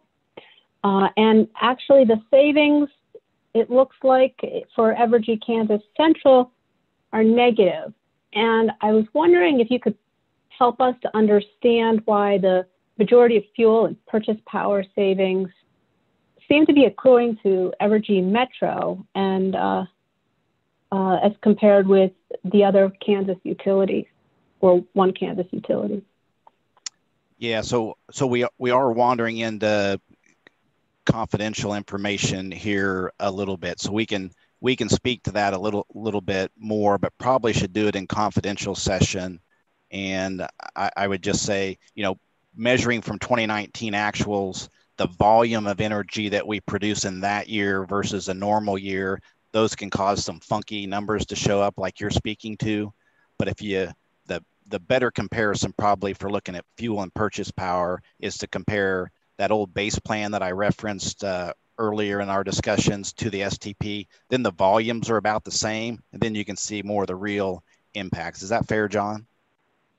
Yep, that's fair, Greg. Okay. So we can give you a little more granular, but John, I, I think that's probably better in the confidential session. Yes, it is, and we okay. can get into specifics there. Okay. Thank you. I'd appreciate it. I only have, I think, one more question. I think it's, well, confirming that actually all of the, the, the numbers, the values on, on uh, 14 through 19 are Evergy wide. Um, my, my last question is, um, I understand that in the Missouri docket, the Missouri staff requested an extension of the due date of their report to late January 2021. And the reason for that was because they anticipated that more detailed and highly relevant information would become available between mid-November and December 2020 from Evergy regarding those plans um, for additional capital spending and operation and maintenance expense reductions. So it sounds to me from staff's motion, and for sure you can't speak the staff's motion, but has Evergy changed its plans? Do you have new additional information that alters perhaps the STP that you filed with the commission earlier this summer? At, at risk of speaking for the Missouri Commission, which I hate to do, but I think generally the way I've interpreted that is that uh, Missouri is is maybe you know less concerned with the STP. They are in favor of of aspects that make up the STP. Uh, there is uh, legislation in Missouri to encourage infrastructure investment consistent with grid modernization, con consistent with renewable plants.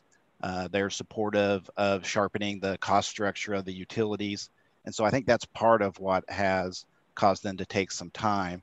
And then, as we've talked about on this call, um, while the BCG slides from May are, are strongly indicative of the STP, we've continued to to work on uh, more granular aspects uh, of the plan as we move forward. And I think they just chose to wait for more information. Okay, and, and as Ms. Crane indicated or, or asked earlier, she asked whether there had been sort of some new information that was avail made available by Evergy, but perhaps maybe we can discuss a little bit more of that on during the confidential session. Uh, yes, or we'll we'll do some checking into to those. I, I don't know if we're going to have all the answers by then, but but certainly. Darrin, Thank anything to add much. on Missouri? No, I, I, I think you've got it right, Greg. Um, you know, we've talked about and we talked about in in workshop session one. I mean, we continue to do detailed planning and and you know are are finalizing our budget for 2021 which certainly has uh, specific savings. We talked about the the 230 initiatives in, in, this session that are that are ongoing that continue to inform our, our, direction forward. So, you know, strongly indicative is the right word for the BCG materials, but but we continue to plan and, and we're also working on our updated five-year plan that will we'll take to our board in February. And that, that all continues to, to move our planning forward. Yeah, and we have capital plan filings in Kansas that are due in the first quarter of, of next year, consistent with that work that we continue to do today. Thank you. I, I have no further questions. Appreciate your time. Thank you. Before we, this is Susan Cunningham again. I'm sorry.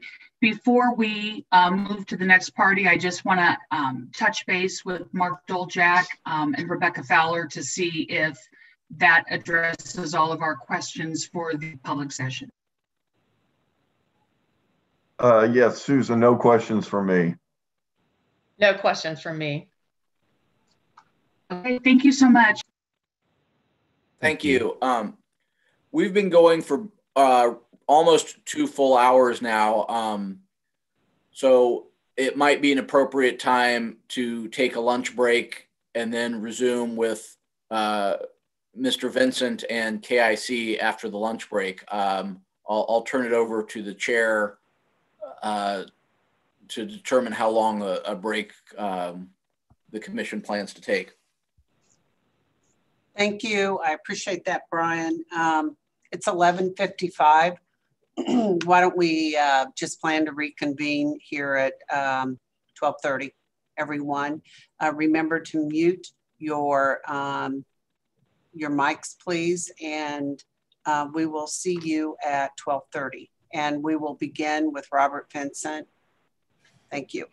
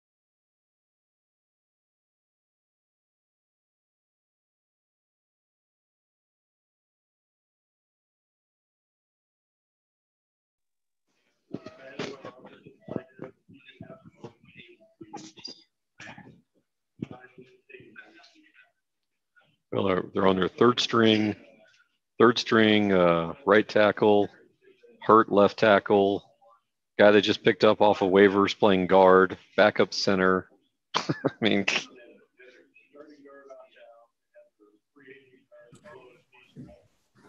yeah. Hey, just an FYI, there's somebody that's not muted.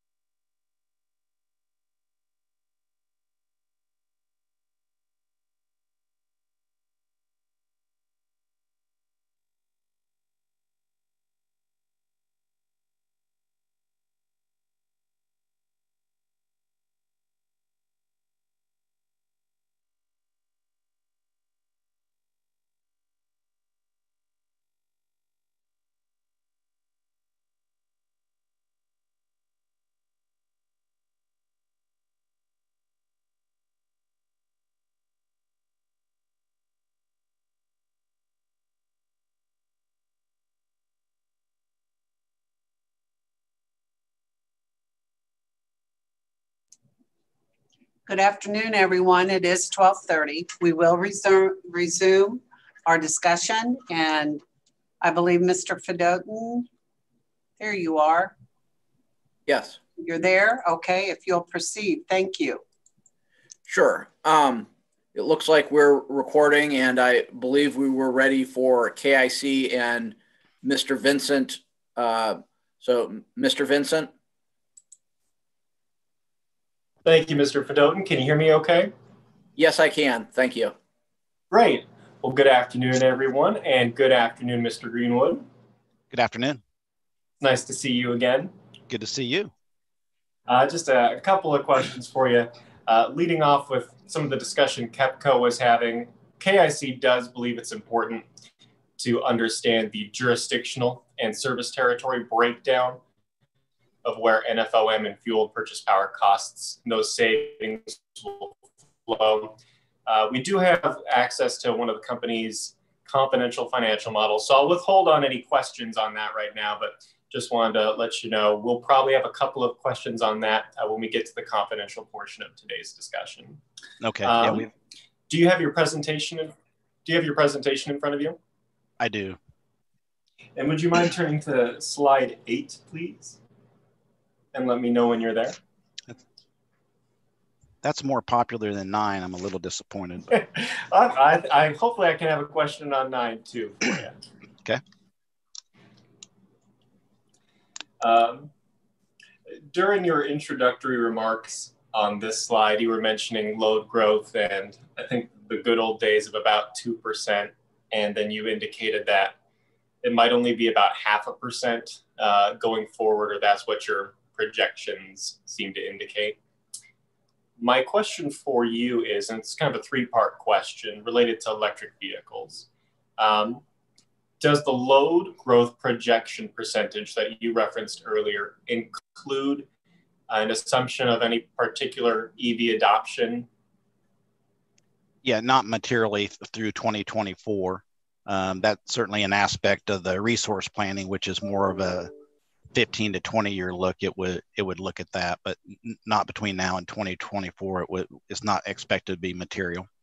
Okay, so so just to run down that line a little bit further, in the IRP presentations, there have been discussions on uh, beneficial electrification, and there are some projections on that kind of a low, mid, high, and then a, a best case electrification um, uh, projection. Just kind of curious if if uh, your your half a percent figure ties into any one of those four. M- mine was a general comment about uh, you know what we experienced the last five years or so and and what we expect to the next few years. But again it wasn't out 15 or 20 years like the resource plan discussions are. Okay. Uh, turning to slide nine with you if that's okay. Sure so my question is actually on some of the uh, text at the bottom of the screen and it's really just kind of a confirmatory question. On the third line in the gray text, starting about midway through it, it says O&M costs listed includes total transmission expense uh, with, with some exclusions. Um, and I'm not an accountant or financial analyst, but when I see total, that to me that seems like it's everything. So I just wanted to make sure do the NFOM levels uh, that are presented on the screen include any of the dollars that would typically be recovered through the commission's transmission delivery charge? Yes, it's the full cost structure of the company, so it would include all costs. Okay. Thank you.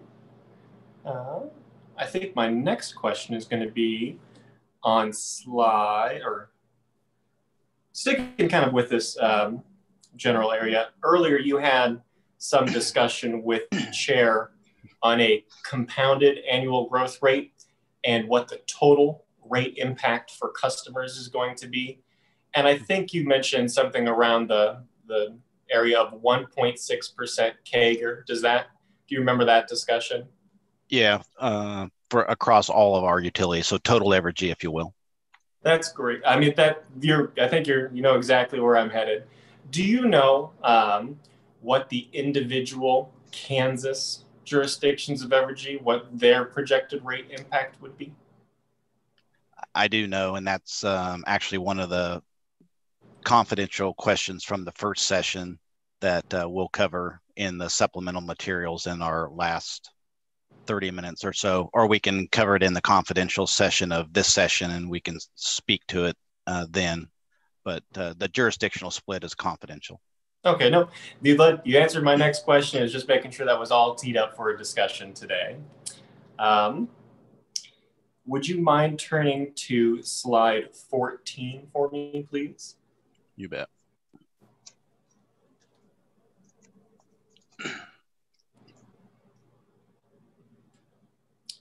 And would you let me know when you're there? I'm there. Thank you. Oh, thank you. The second area of focus is um, coal contract renegotiations. Do you see that? I do. Generally speaking, it's my understanding there is, you know, quite a bit of renewable resources in SPP that's only projected to continue to grow. Um, utilities are using more natural gas in their fleets, so coal prices in general it's my understanding, are on are under fairly significant pressure. Um, has the company modeled how much the uh, coal contracts would reduce just because of the current state of affairs and not anything directly attributable to the company? And is it because they're under so much pressure? Is that is it fair to try and say that that uh, that this that those lower prices are going to result from the STP? So you're saying bec- you want to know why customer bills go down because of lower fuel costs? You're, you're not. No, so, and apologies if, if uh, well, go ahead. Uh, so, so I, we'll give you credit for it if you want, but but those costs lower customer bills. When we go in to negotiate a contract and try to figure out how much is our own doing or would have fallen in our lap if we hadn't done anything, that's pretty hard to separate those things out. Um, but one of our strategies is is to hedge our fuel. And one of the ways that we do that is we have some contracts that are very short duration. We have some contracts that are medium term and some that are long term. Because our goal is never to be, uh, you know, to hit a five run homer for customers on fuel, right? Our goal is to provide low, stable, predictable prices for customers.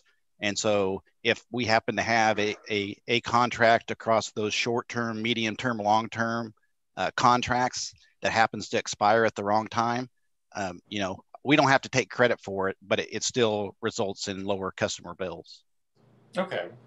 I, yeah, I think I think that uh, I think that answers my question. I, I appreciate you there. Uh, on uh, on slide 15, kind of continuing our discussion on um, cost reductions. You you referenced, I think it's outage optimization. I think that is the the fourth bullet point here.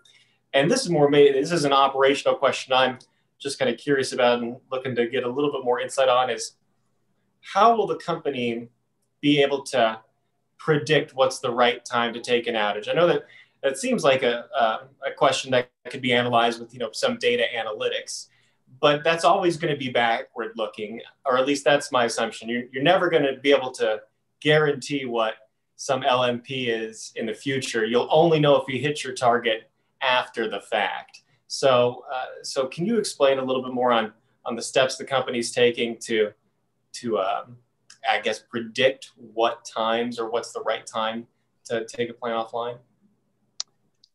Yeah, so we can we can look at and and I may ask John Bridson, our VP of Generation, to uh, chime in after I'm I'm done, or if you have follow up uh, questions to my response. But as far as timing of when we start an outage versus not, is that your primary question? Yeah, that, yeah, that's that, yeah, that that's yeah. a fair way to summarize. Yeah, so that primarily the timing of that primarily relates to changes at our nuclear plant as as we've gone back and looked at hourly prices across spring and fall months, we found that, that if we, uh, on average, if we started our average a few week outages at Wolf Creek to refuel a few weeks sooner or later, we could get into those sort of shoulder months more, more, uh, you know, dead center and have uh, the most power available in the market to replace the power of Wolf Creek uh, at a lower cost than the, the windows that we had been hitting typically. So it's really optimizing, you know, the the law of averages of what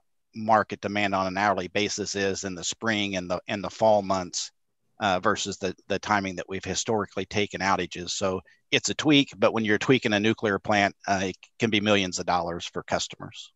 All right, that, so that's that's a fair a fair point. Just to make sure I'm understanding it correctly, when we talk about outage optimization, the comp- the majority of the company's savings are attributed to Wolf Creek's outage, optimizing when Wolf Creek goes on outage versus any one particular coal unit. Is that a, kind of a fair summary? No, and again, I'll, I'll look to John if uh, with need be. But your your question was specifically related, as I understood it, to starting of timing of outages and when they start. So that's related to to Wolf Creek, uh, at least uh, for the any great extent. But outage optimization more broadly also relates to, um, you know, how frequently do you take a coal or gas unit offline uh, to do periodic maintenance? Um, you know, the best practice when I started in this industry was every 12 months. Uh, and then it became every 18 months. Now, as the duty cycle of those coal plants have changed and we have more sensors and intelligence on those units, uh, best in class is more like every three years. And so that's what we're looking at for our for our coal, coal fleet. And if if we only have a maintenance outage every three years, there's more days during that three year period that that unit's available to the market uh, and if it's called upon because it's it's a lower cost resource to meet uh, regional demand, customers save money. Okay, well, uh, I might have a, a couple more questions on that if, if time permits, but uh, I'll keep moving on. Um, uh, if you wouldn't mind turning with me to slide 16, please.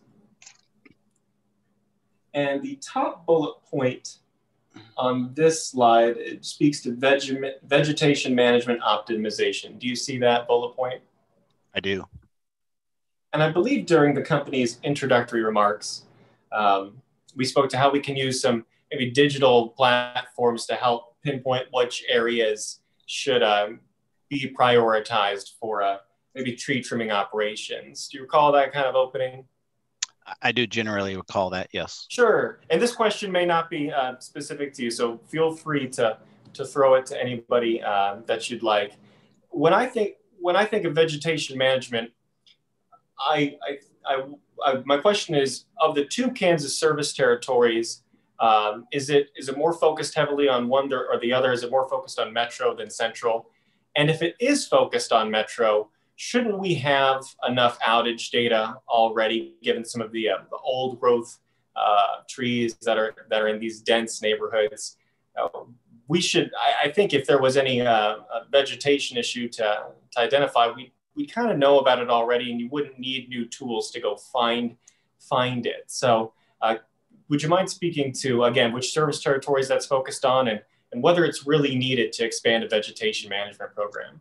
Yeah, I'll answer that at a high level, and then I'll see if Bruce Akin or Andy have have something they want to add. They're that they're the experts. But you know, we spend about sixty million dollars a year trimming trees across Evergy, so sixty million dollars. Um, you know, and you know, you can you can know that you've trimmed trees whether it's urban or rural. And, and our our main guiding principle is that we're going to stay on a cycle, four years in the urban areas, six year cycle where it's more rural. And then we're going to most cost efficiently, efficiently as possible stay on that cycle so we don't get behind. Uh, these tools allow us to do that more more efficiently in these practices. Um, some some practices are different between our u- utilities, and so some benefit more from others from certain aspects of those savings. Uh, but trees grow every day, so just because it's an urban area and we know these old growth trees um, they're going to come back to visit our lines, and that's why we stay on those cycles. Um, as, far as any specifics for um, you know areas of savings, I'd look to to maybe Bruce or Andy to see if they want to add anything to my high level response. And correct me if I was wrong, Bruce. No, you're correct, uh, Greg. This is uh, Bruce Akin. So there's multiple uh, components to the vegetation. One is kind of getting on a normalized basis. So we had a, a, significant increase in, in the storm in the Kansas City metro area a year ago that we comes off the top. Um, there is a significant savings on Kansas Central from going to target pricing strategy. uh, that was in place on the on the legacy uh, KCPL uh, side. But then there's digital workflow uh, savings. There's uh, herbicide treatments and stricter controls on unplanned work that kind of span across across all of the territories. Okay, no, I I appreciate that. I was just thinking if um, if you're going to be on kind of a I'm not an arborist, uh, so a condensed tree trimming cycle uh, every four years, you're kind of back in the same area generally. Then uh, I wasn't quite sure wh- how pinpointing fits into it because because you're going to be back there fairly frequently. So I pre- I appreciate that answer. Yeah, Um, the, the ability of technology and more data around that, which which we have now, uh, helps us better plan that work, which helps us get better pricing. Uh, is is Okay. part of the part of that solution. Thanks, Great. Bruce. Well, I, I appreciate the, the dialogue with the company this this afternoon. Uh, I'm at I'm at 16 minutes now, so I'll I'll hold off on any other questions so other folks can uh, can do it. But thank you again to the company and to the commission for Yeah. today's workshop. And I'll take the blame for my answers being too long, so not your fault. Thank you both. Um, uh, Ms. Klein, on behalf of KPP. We don't have any questions. Thank you.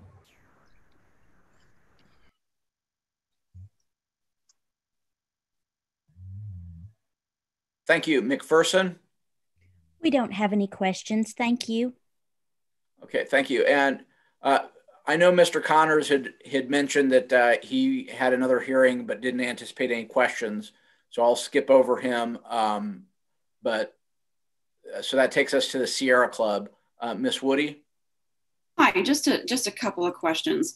First of all, I think you mentioned that you uh, anticipated perhaps moving some functions offshore, and I wondered if you could tell us what functions um, you anticipate moving offshore.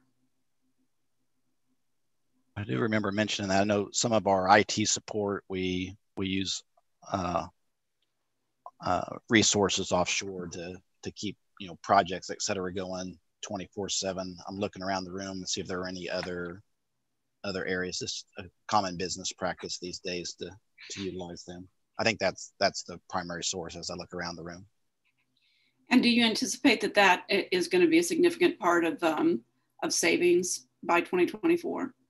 no No increase in that significantly. it's not a significant portion of the overall savings Um, let me let me, if I understood you correctly, what percentage of renewables are you at now? we generate enough uh, renewable energy to serve about I don't know 35% of our retail load, uh, enough carbon free energy to meet about 50% of our, our retail load. Um, and year to date this year, it's a little over 55%. And when you say that in 2030 you're anticipating um, 80%, can you describe uh, how that if, how that falls? Uh, we didn't say we anticipated, we said it's possible depending on the outcome of the stakeholder process and the target, resource, right? re- resource planning efforts. So uh, it's it's a possibility depending on the stakeholders' uh, uh, will and um, you know we've got, we've got to pick as a group what is the right speed and path of transition to balance keeping customer rates low and further greening our uh, generation. We we know that that we'll be cleaner and cleaner. It's a matter of pace. And in fact, we we placed into service three wind farms, 600 megawatts of, of new wind, uh, just in November and any day, um, you know, between now and the end of the year. And we've got uh, 400 megawatts more in 2021 that are currently under construction. And what percentage do you anticipate as of 2024? Um, that'll be something that we cover in the in the supplemental materials, but it'll be about uh, on a uh, energy basis. It'll be about uh, almost sixty percent uh, carbon free. So about a 5% increase then from where you are today? Uh, we're again assuming normal weather, we're about fifty percent. So year to date this year, we're about fifty-five. Um, So 5 to 10% then? Yeah. Yeah. Okay. And do you anticipate? subject to the stakeholder input in the IRP process, but that's that's what's in the STP through 24. And are any of the savings that you're talking about related to this 5 to 10% increase in uh, renewables? Uh, savings and costs. So the cost of of new solar facilities as modeled, about 900 megawatts in through 2024, and then also uh, removing from service um, and recovering the cost of of uh, 500 megawatts of coal generation. Okay. Thank you. Those are the questions I have. Appreciate it. Thank you very much. Thank you. Brian, before you move on, could I ask one follow up to uh, Ms. Woody's questions? Of course. Thank you.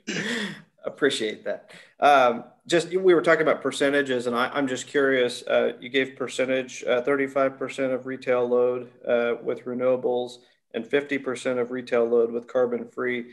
Uh, and I assume those those would sound like were energy numbers. What what is the capacity percent for renewables right now, and uh, capacity percent for carbon free if, if you know those off the top of your head. Yeah i do and, and we'll cover this again with a picture um, in the the later sessions but i can i can speak to these in public public session. So just so we understand I, you know if you think about capacity um, of our units that's if every piece of generation we had if it was running at 100% okay? That's what capacity is if they're all running at 100% then as we as we bid our units into the market and the SPP dispatches the production zero cost production resources like wind and solar first and then the lowest cost resources that's how we get from capacity to energy mix so that we can serve customers at the lowest possible cost for not only our own generation but the whole region. So just as a foundation of capacity versus energy. Um, from a capacity standpoint um, we're about 28% uh, renewables today, and we'll be about 35% by 2024 as the STP is laid out. And again, that's subject to to uh, faster or slower transition of the generation fleet, depending on the IRP process and the stakeholder input. And I assume that that contemplates nameplate capacity for for things like wind. It's not some sort of accredited amount. Yeah, I'm sorry. I was trying to make that clear at the start. So when we're talking yeah. capacity, it's just assume every every unit's running at 100 percent at the time. yeah. So so yes, it is. Okay. Thank you. That's all I had, Brian. You can move on. Okay, thank you. Um, Ms. Klein, any questions or comments on behalf of USD 259? No, thank you. Okay, thank you. Um, then I think we're ready for commission staff. Uh, Ms. Pemberton. Good afternoon. Thanks, Brian. Um, I'm just going to turn this over actually to Mr. McClanahan. So Mr. Greenwood, you're off the hook from my perspective for the moment. So I'll give it to Jeff and let him introduce his staff. Fantastic. Yeah. Good afternoon, Greg. I'm Jeff. Uh, so with me today is uh, Justin Grady, our Chief of Accounting, uh, Cost of Service, um, and Financial Analysis, as well as Adam Gatewood, our our Senior Managing um, Financial Analyst, and Leo Haynos, our Chief Engineer. Um, Greg, I, uh, I only have one uh, point, and um, it's really for the public, I think. So it's uh, I think I know the answers to this, but I'll I'll kind of set it up and with a preface that the savings that we've been talking about today are uh, critical to the implementation of the STP plan in that achieving those savings is what enables uh, Evergy to hold the rate increases to that 1.6 to 2% compound annual growth rate. That's a fair statement, isn't it? Yeah, and and man- managing the capital program appropriately, all, all those have to work in concert. Right. So the the ability to achieve your the forecasted savings that we've been talking about today um, is of probably great interest to everybody to ensure that those the rate impacts stay as low as possible. So we've talked about it in bits and pieces through various uh, questions uh, throughout the day in terms of um, the savings to date that have been achieved through the merger and you've overachieved. And, um, you know, we, we, if we look at slide 21, that was a pretty granular look at um, how Evergy would go about identifying a particular area where you might achieve savings.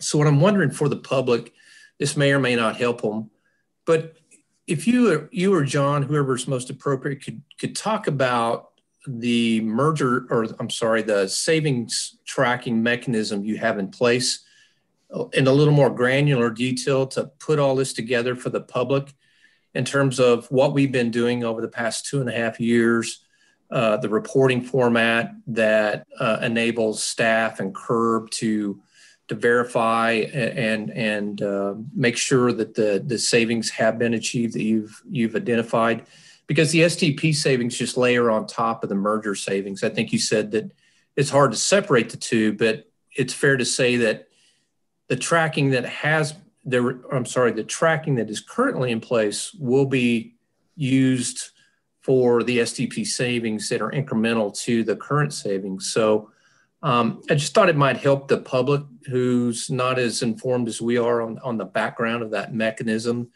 uh, to be um, a little more informed on uh, the details behind it because there's an awful lot of work that goes into uh, compiling all that information in those reports. Yeah, so let me let me lay some foundation, and then you might have to clarify a question, and I'll see if John or or Brandy Wells can help us. So, from a merger savings perspective, you know, we had 311 different uh, savings ideas or charters when it relates to merger savings, and those were based off of 2016 uh, baseline at the time. So that's how much time has you know water's gone under the bridge since then. Um, we're about 40% ahead uh, year to date after, or I'm sorry, merger to date after two and a half years of the five year period. Um, we track each of those 311, and each month we go out to our teams and have them update uh, their results. And then each quarter we go out and validate internally uh, the savings to make sure that the savings that were submitted from the business uh, that we can validate those with some sort of calculation or invoice or what have you. Um, and then and then we share that uh, in a confidential version and then a public version of those results uh, periodically with the commission. Uh, the STP savings are, uh, as we've laid out, are based off of 2019 actual results um, because it's more meaningful if you can measure against uh, a more current period of time to measure to measure uh, savings opportunity. And and again, we have a separate but I would say equally detailed tracking system for the STP savings uh, that we have for the merger savings. So they're two separate systems with both very very detailed. Some 300 items in one, uh, some 200 in the other. And as you said, for the some of those items are actually one and the same because those calculations are measured against commitments that were made at separate points in time. Yeah, I think that's helpful. That's that's what I was looking for, Greg. Just something that um, the public could get their arms around of of uh, how you how you determine and how we evaluate the level of savings. But I think just the one additional point of clarification: those you you track those savings in detail such that we know the specific areas of the savings, so generation, transmission, distribution, IT, HR, where, wherever that might be. Uh, it's a very granular um, review so that we can identify where those savings are. Yeah, that, that's exactly right. And then finally, we would, uh, as you indicated, you're going to be tracking these uh, moving forward. So um, all of the stakeholders would probably have the ability to um, get additional reporting and and um, do some due diligence work on on uh, your achievement of the savings as you move forward through the STP.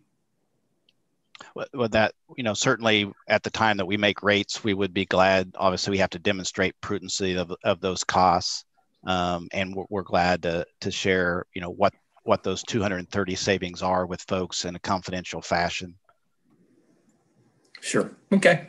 That's all I have, uh, Greg. Thank you very much. Uh, Justin, you have anything? Hey, good afternoon, everyone. Appreciate the opportunity to ask questions this afternoon. Um, as much as it pains me personally, I don't actually have any questions for Mr. Greenwood or Mr. Grace this afternoon. So I appreciate all the information so far. And I do have a few questions that, um, pertaining to the financial model, but I, I think those are confidential. So we'll just save those for the confidential session. Okay. Yeah, they are. Thank you. I would ask Leo if he has any questions. Leo or Tim? I have one question, please. Um, good afternoon, Greg. Hi, Leo. In our past presentation the other couple weeks ago, Leo, excuse me, if you could turn your mic up or lean in closer, that would be helpful. Okay. Thank you. It's obviously something to do with my computer.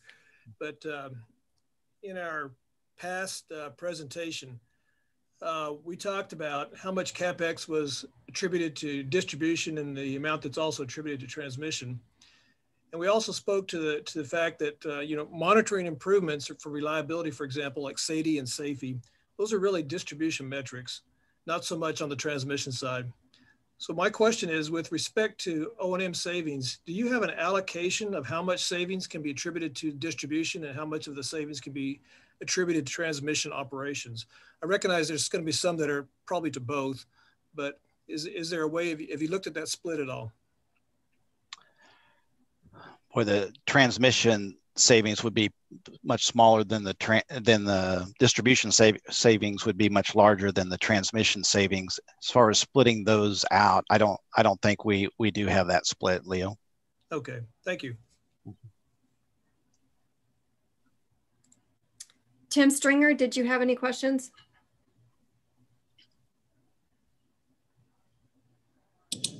Yeah, um, I, did have a question concerning Wolf Creek and the changes, the O and M that's going to be occurring there. Does any of that uh, necessitate a change to the UFSAR? And does the NRC have to approve any of these changes? Um, I don't believe they do. I'll I'll double check that, Tim, and make sure that's the case. But I I don't believe they require any of that.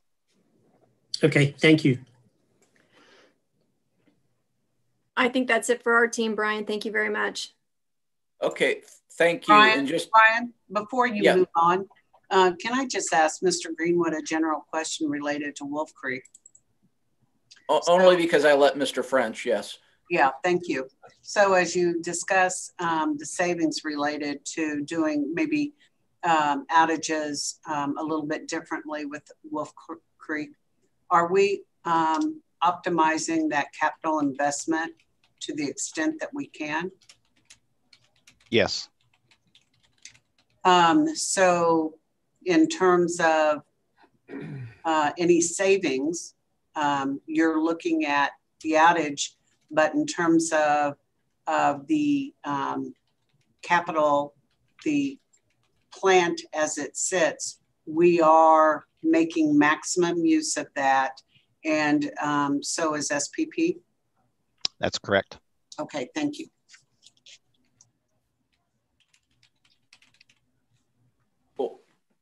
That's a pretty good transition into to where we are next, that we're ready for commissioner questions. But before we jump into commissioner questions, just wanted to give everybody a slight roadmap of where we're going.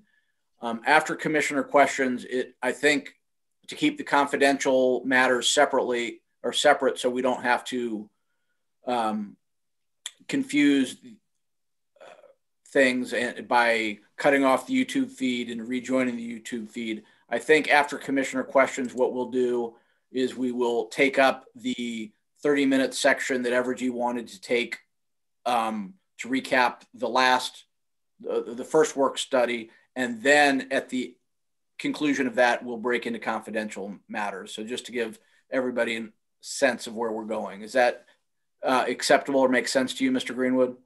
Yeah, Brian. In in fact, all of the sections of the the supplemental update that we haven't already discussed, like uh, capacity factors, are confidential as well. So I think we can we can handle the confidential session related to the operational efficiency topic of the day, um, and then just leave the feed off and go into these supplemental answers, which are uh, confidential as well.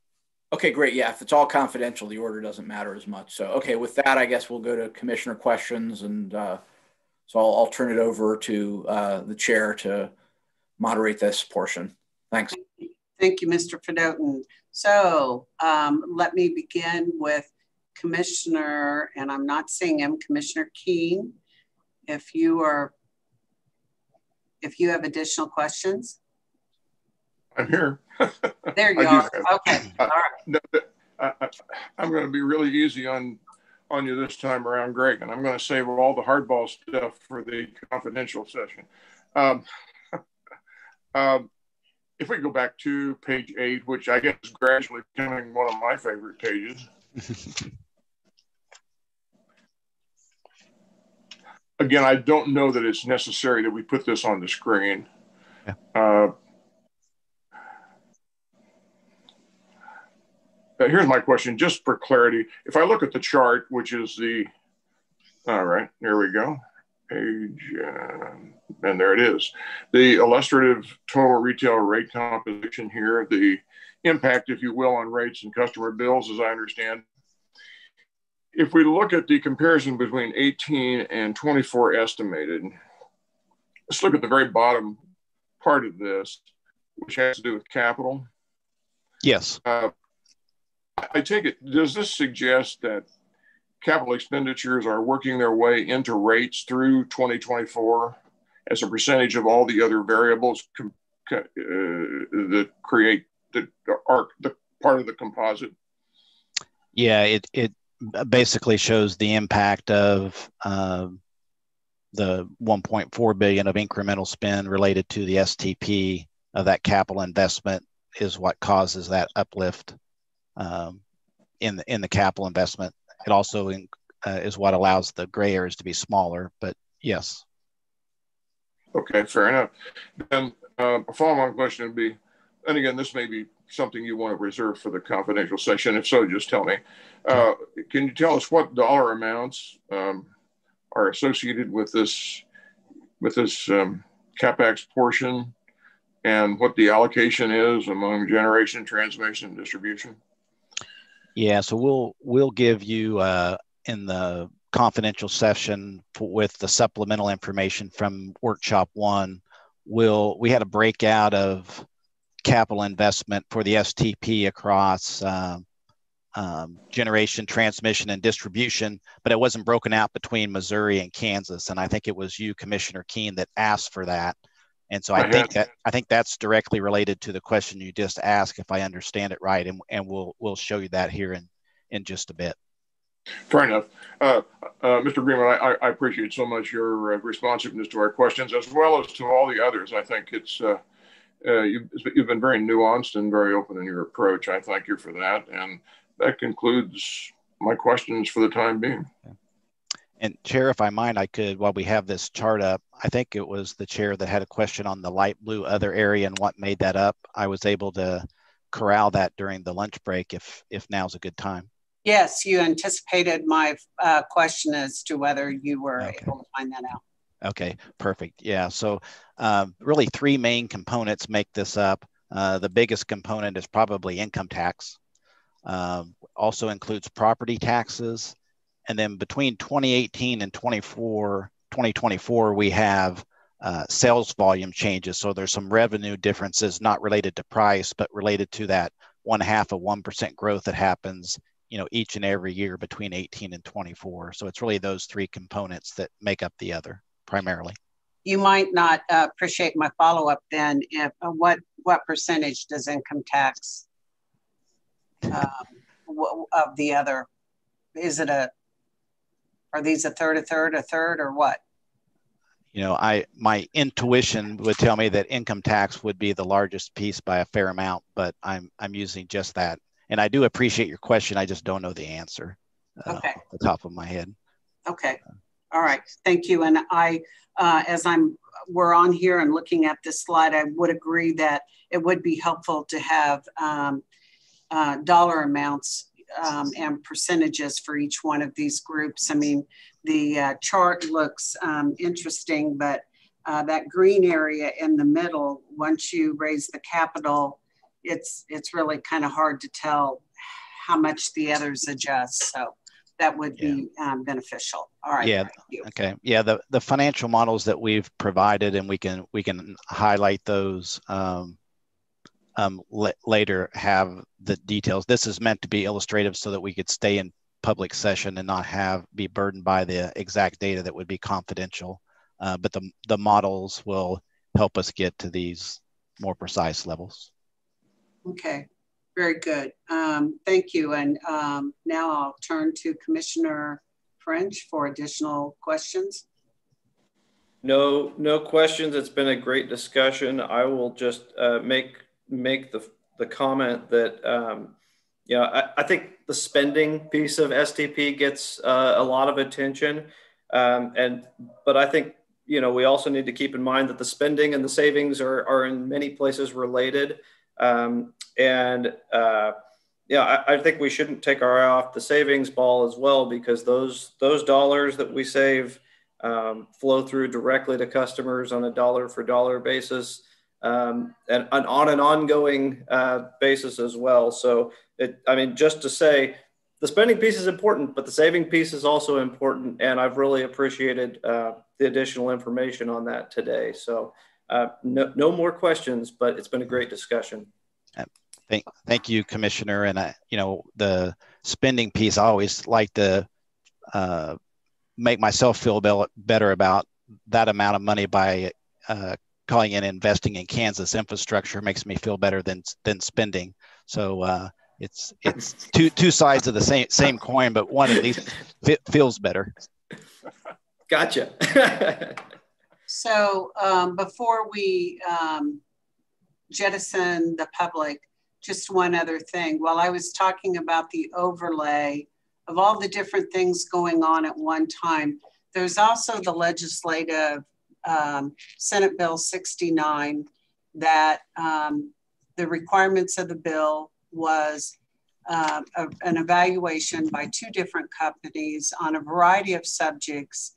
And I fully anticipate that the legislature, now that both studies are complete, and we did have the uh, Evergy go back and provide um, some detail that was not there in the second study. But now that both studies are complete, I fully expect that the legislature will um, call on the company to come and explain how um, um, how we can get to the improvements, explain the situation that was uncovered in the reports, and basically um, the reports revolved around why are our rates here in Kansas with this company so high compared to rates in other states and with other companies. So that's another layer that factors on top of this as well. And here at the commission, we're very interested. We are part of this. We, we have reviewed the two studies. We have some thoughts. We continue to have some questions. So that is another layer on top of this. I would say to the public, there is a lot of confidential information and sometimes I question why does this all have to remain com confidential? But there are reasons why. And um, as we believe that if some of this can be released out into the public, absolutely, we want it to be re released and be transparent. Um, that is our responsibility of the commission to continue to review and of staff to um, ascertain whether this really is confidential information and why. But um, that is a large part of any proceeding, whether it's this workshop or a rate case. So um, for the public that has tuned in, your involvement is important. If you have comments, of course, you can always share them with us. Um, so at this point in time, I would like to remind the public and um, looking for my notes, uh, there will be another work study which will focus on enhanced customer experience. It's scheduled for January 20th, 2021 at 10 a.m. and again will be um, conducted online. and join us if you can. There will be a fourth study in May, and um, always be looking at our website for additional information. Um, our folks there are really helpful. If you have a question, um, let us know. Um, Brian, is there any other business before we jettison the public? Uh, no, Chair Duffy. We're uh, as long as IT has let us know to, to that the live stream uh, has been cut, we can proceed with uh, confidential matters. Okay, so to the folks out there, thank you so much for joining us. Um, we hope to see you again, and we are adjourned for the public portion of this proceeding. Thank you. And Michelle, if you'll let us know when the live stream has ended. Do you still want the recording for the confidential? We would like it to be recorded on Zoom and not um,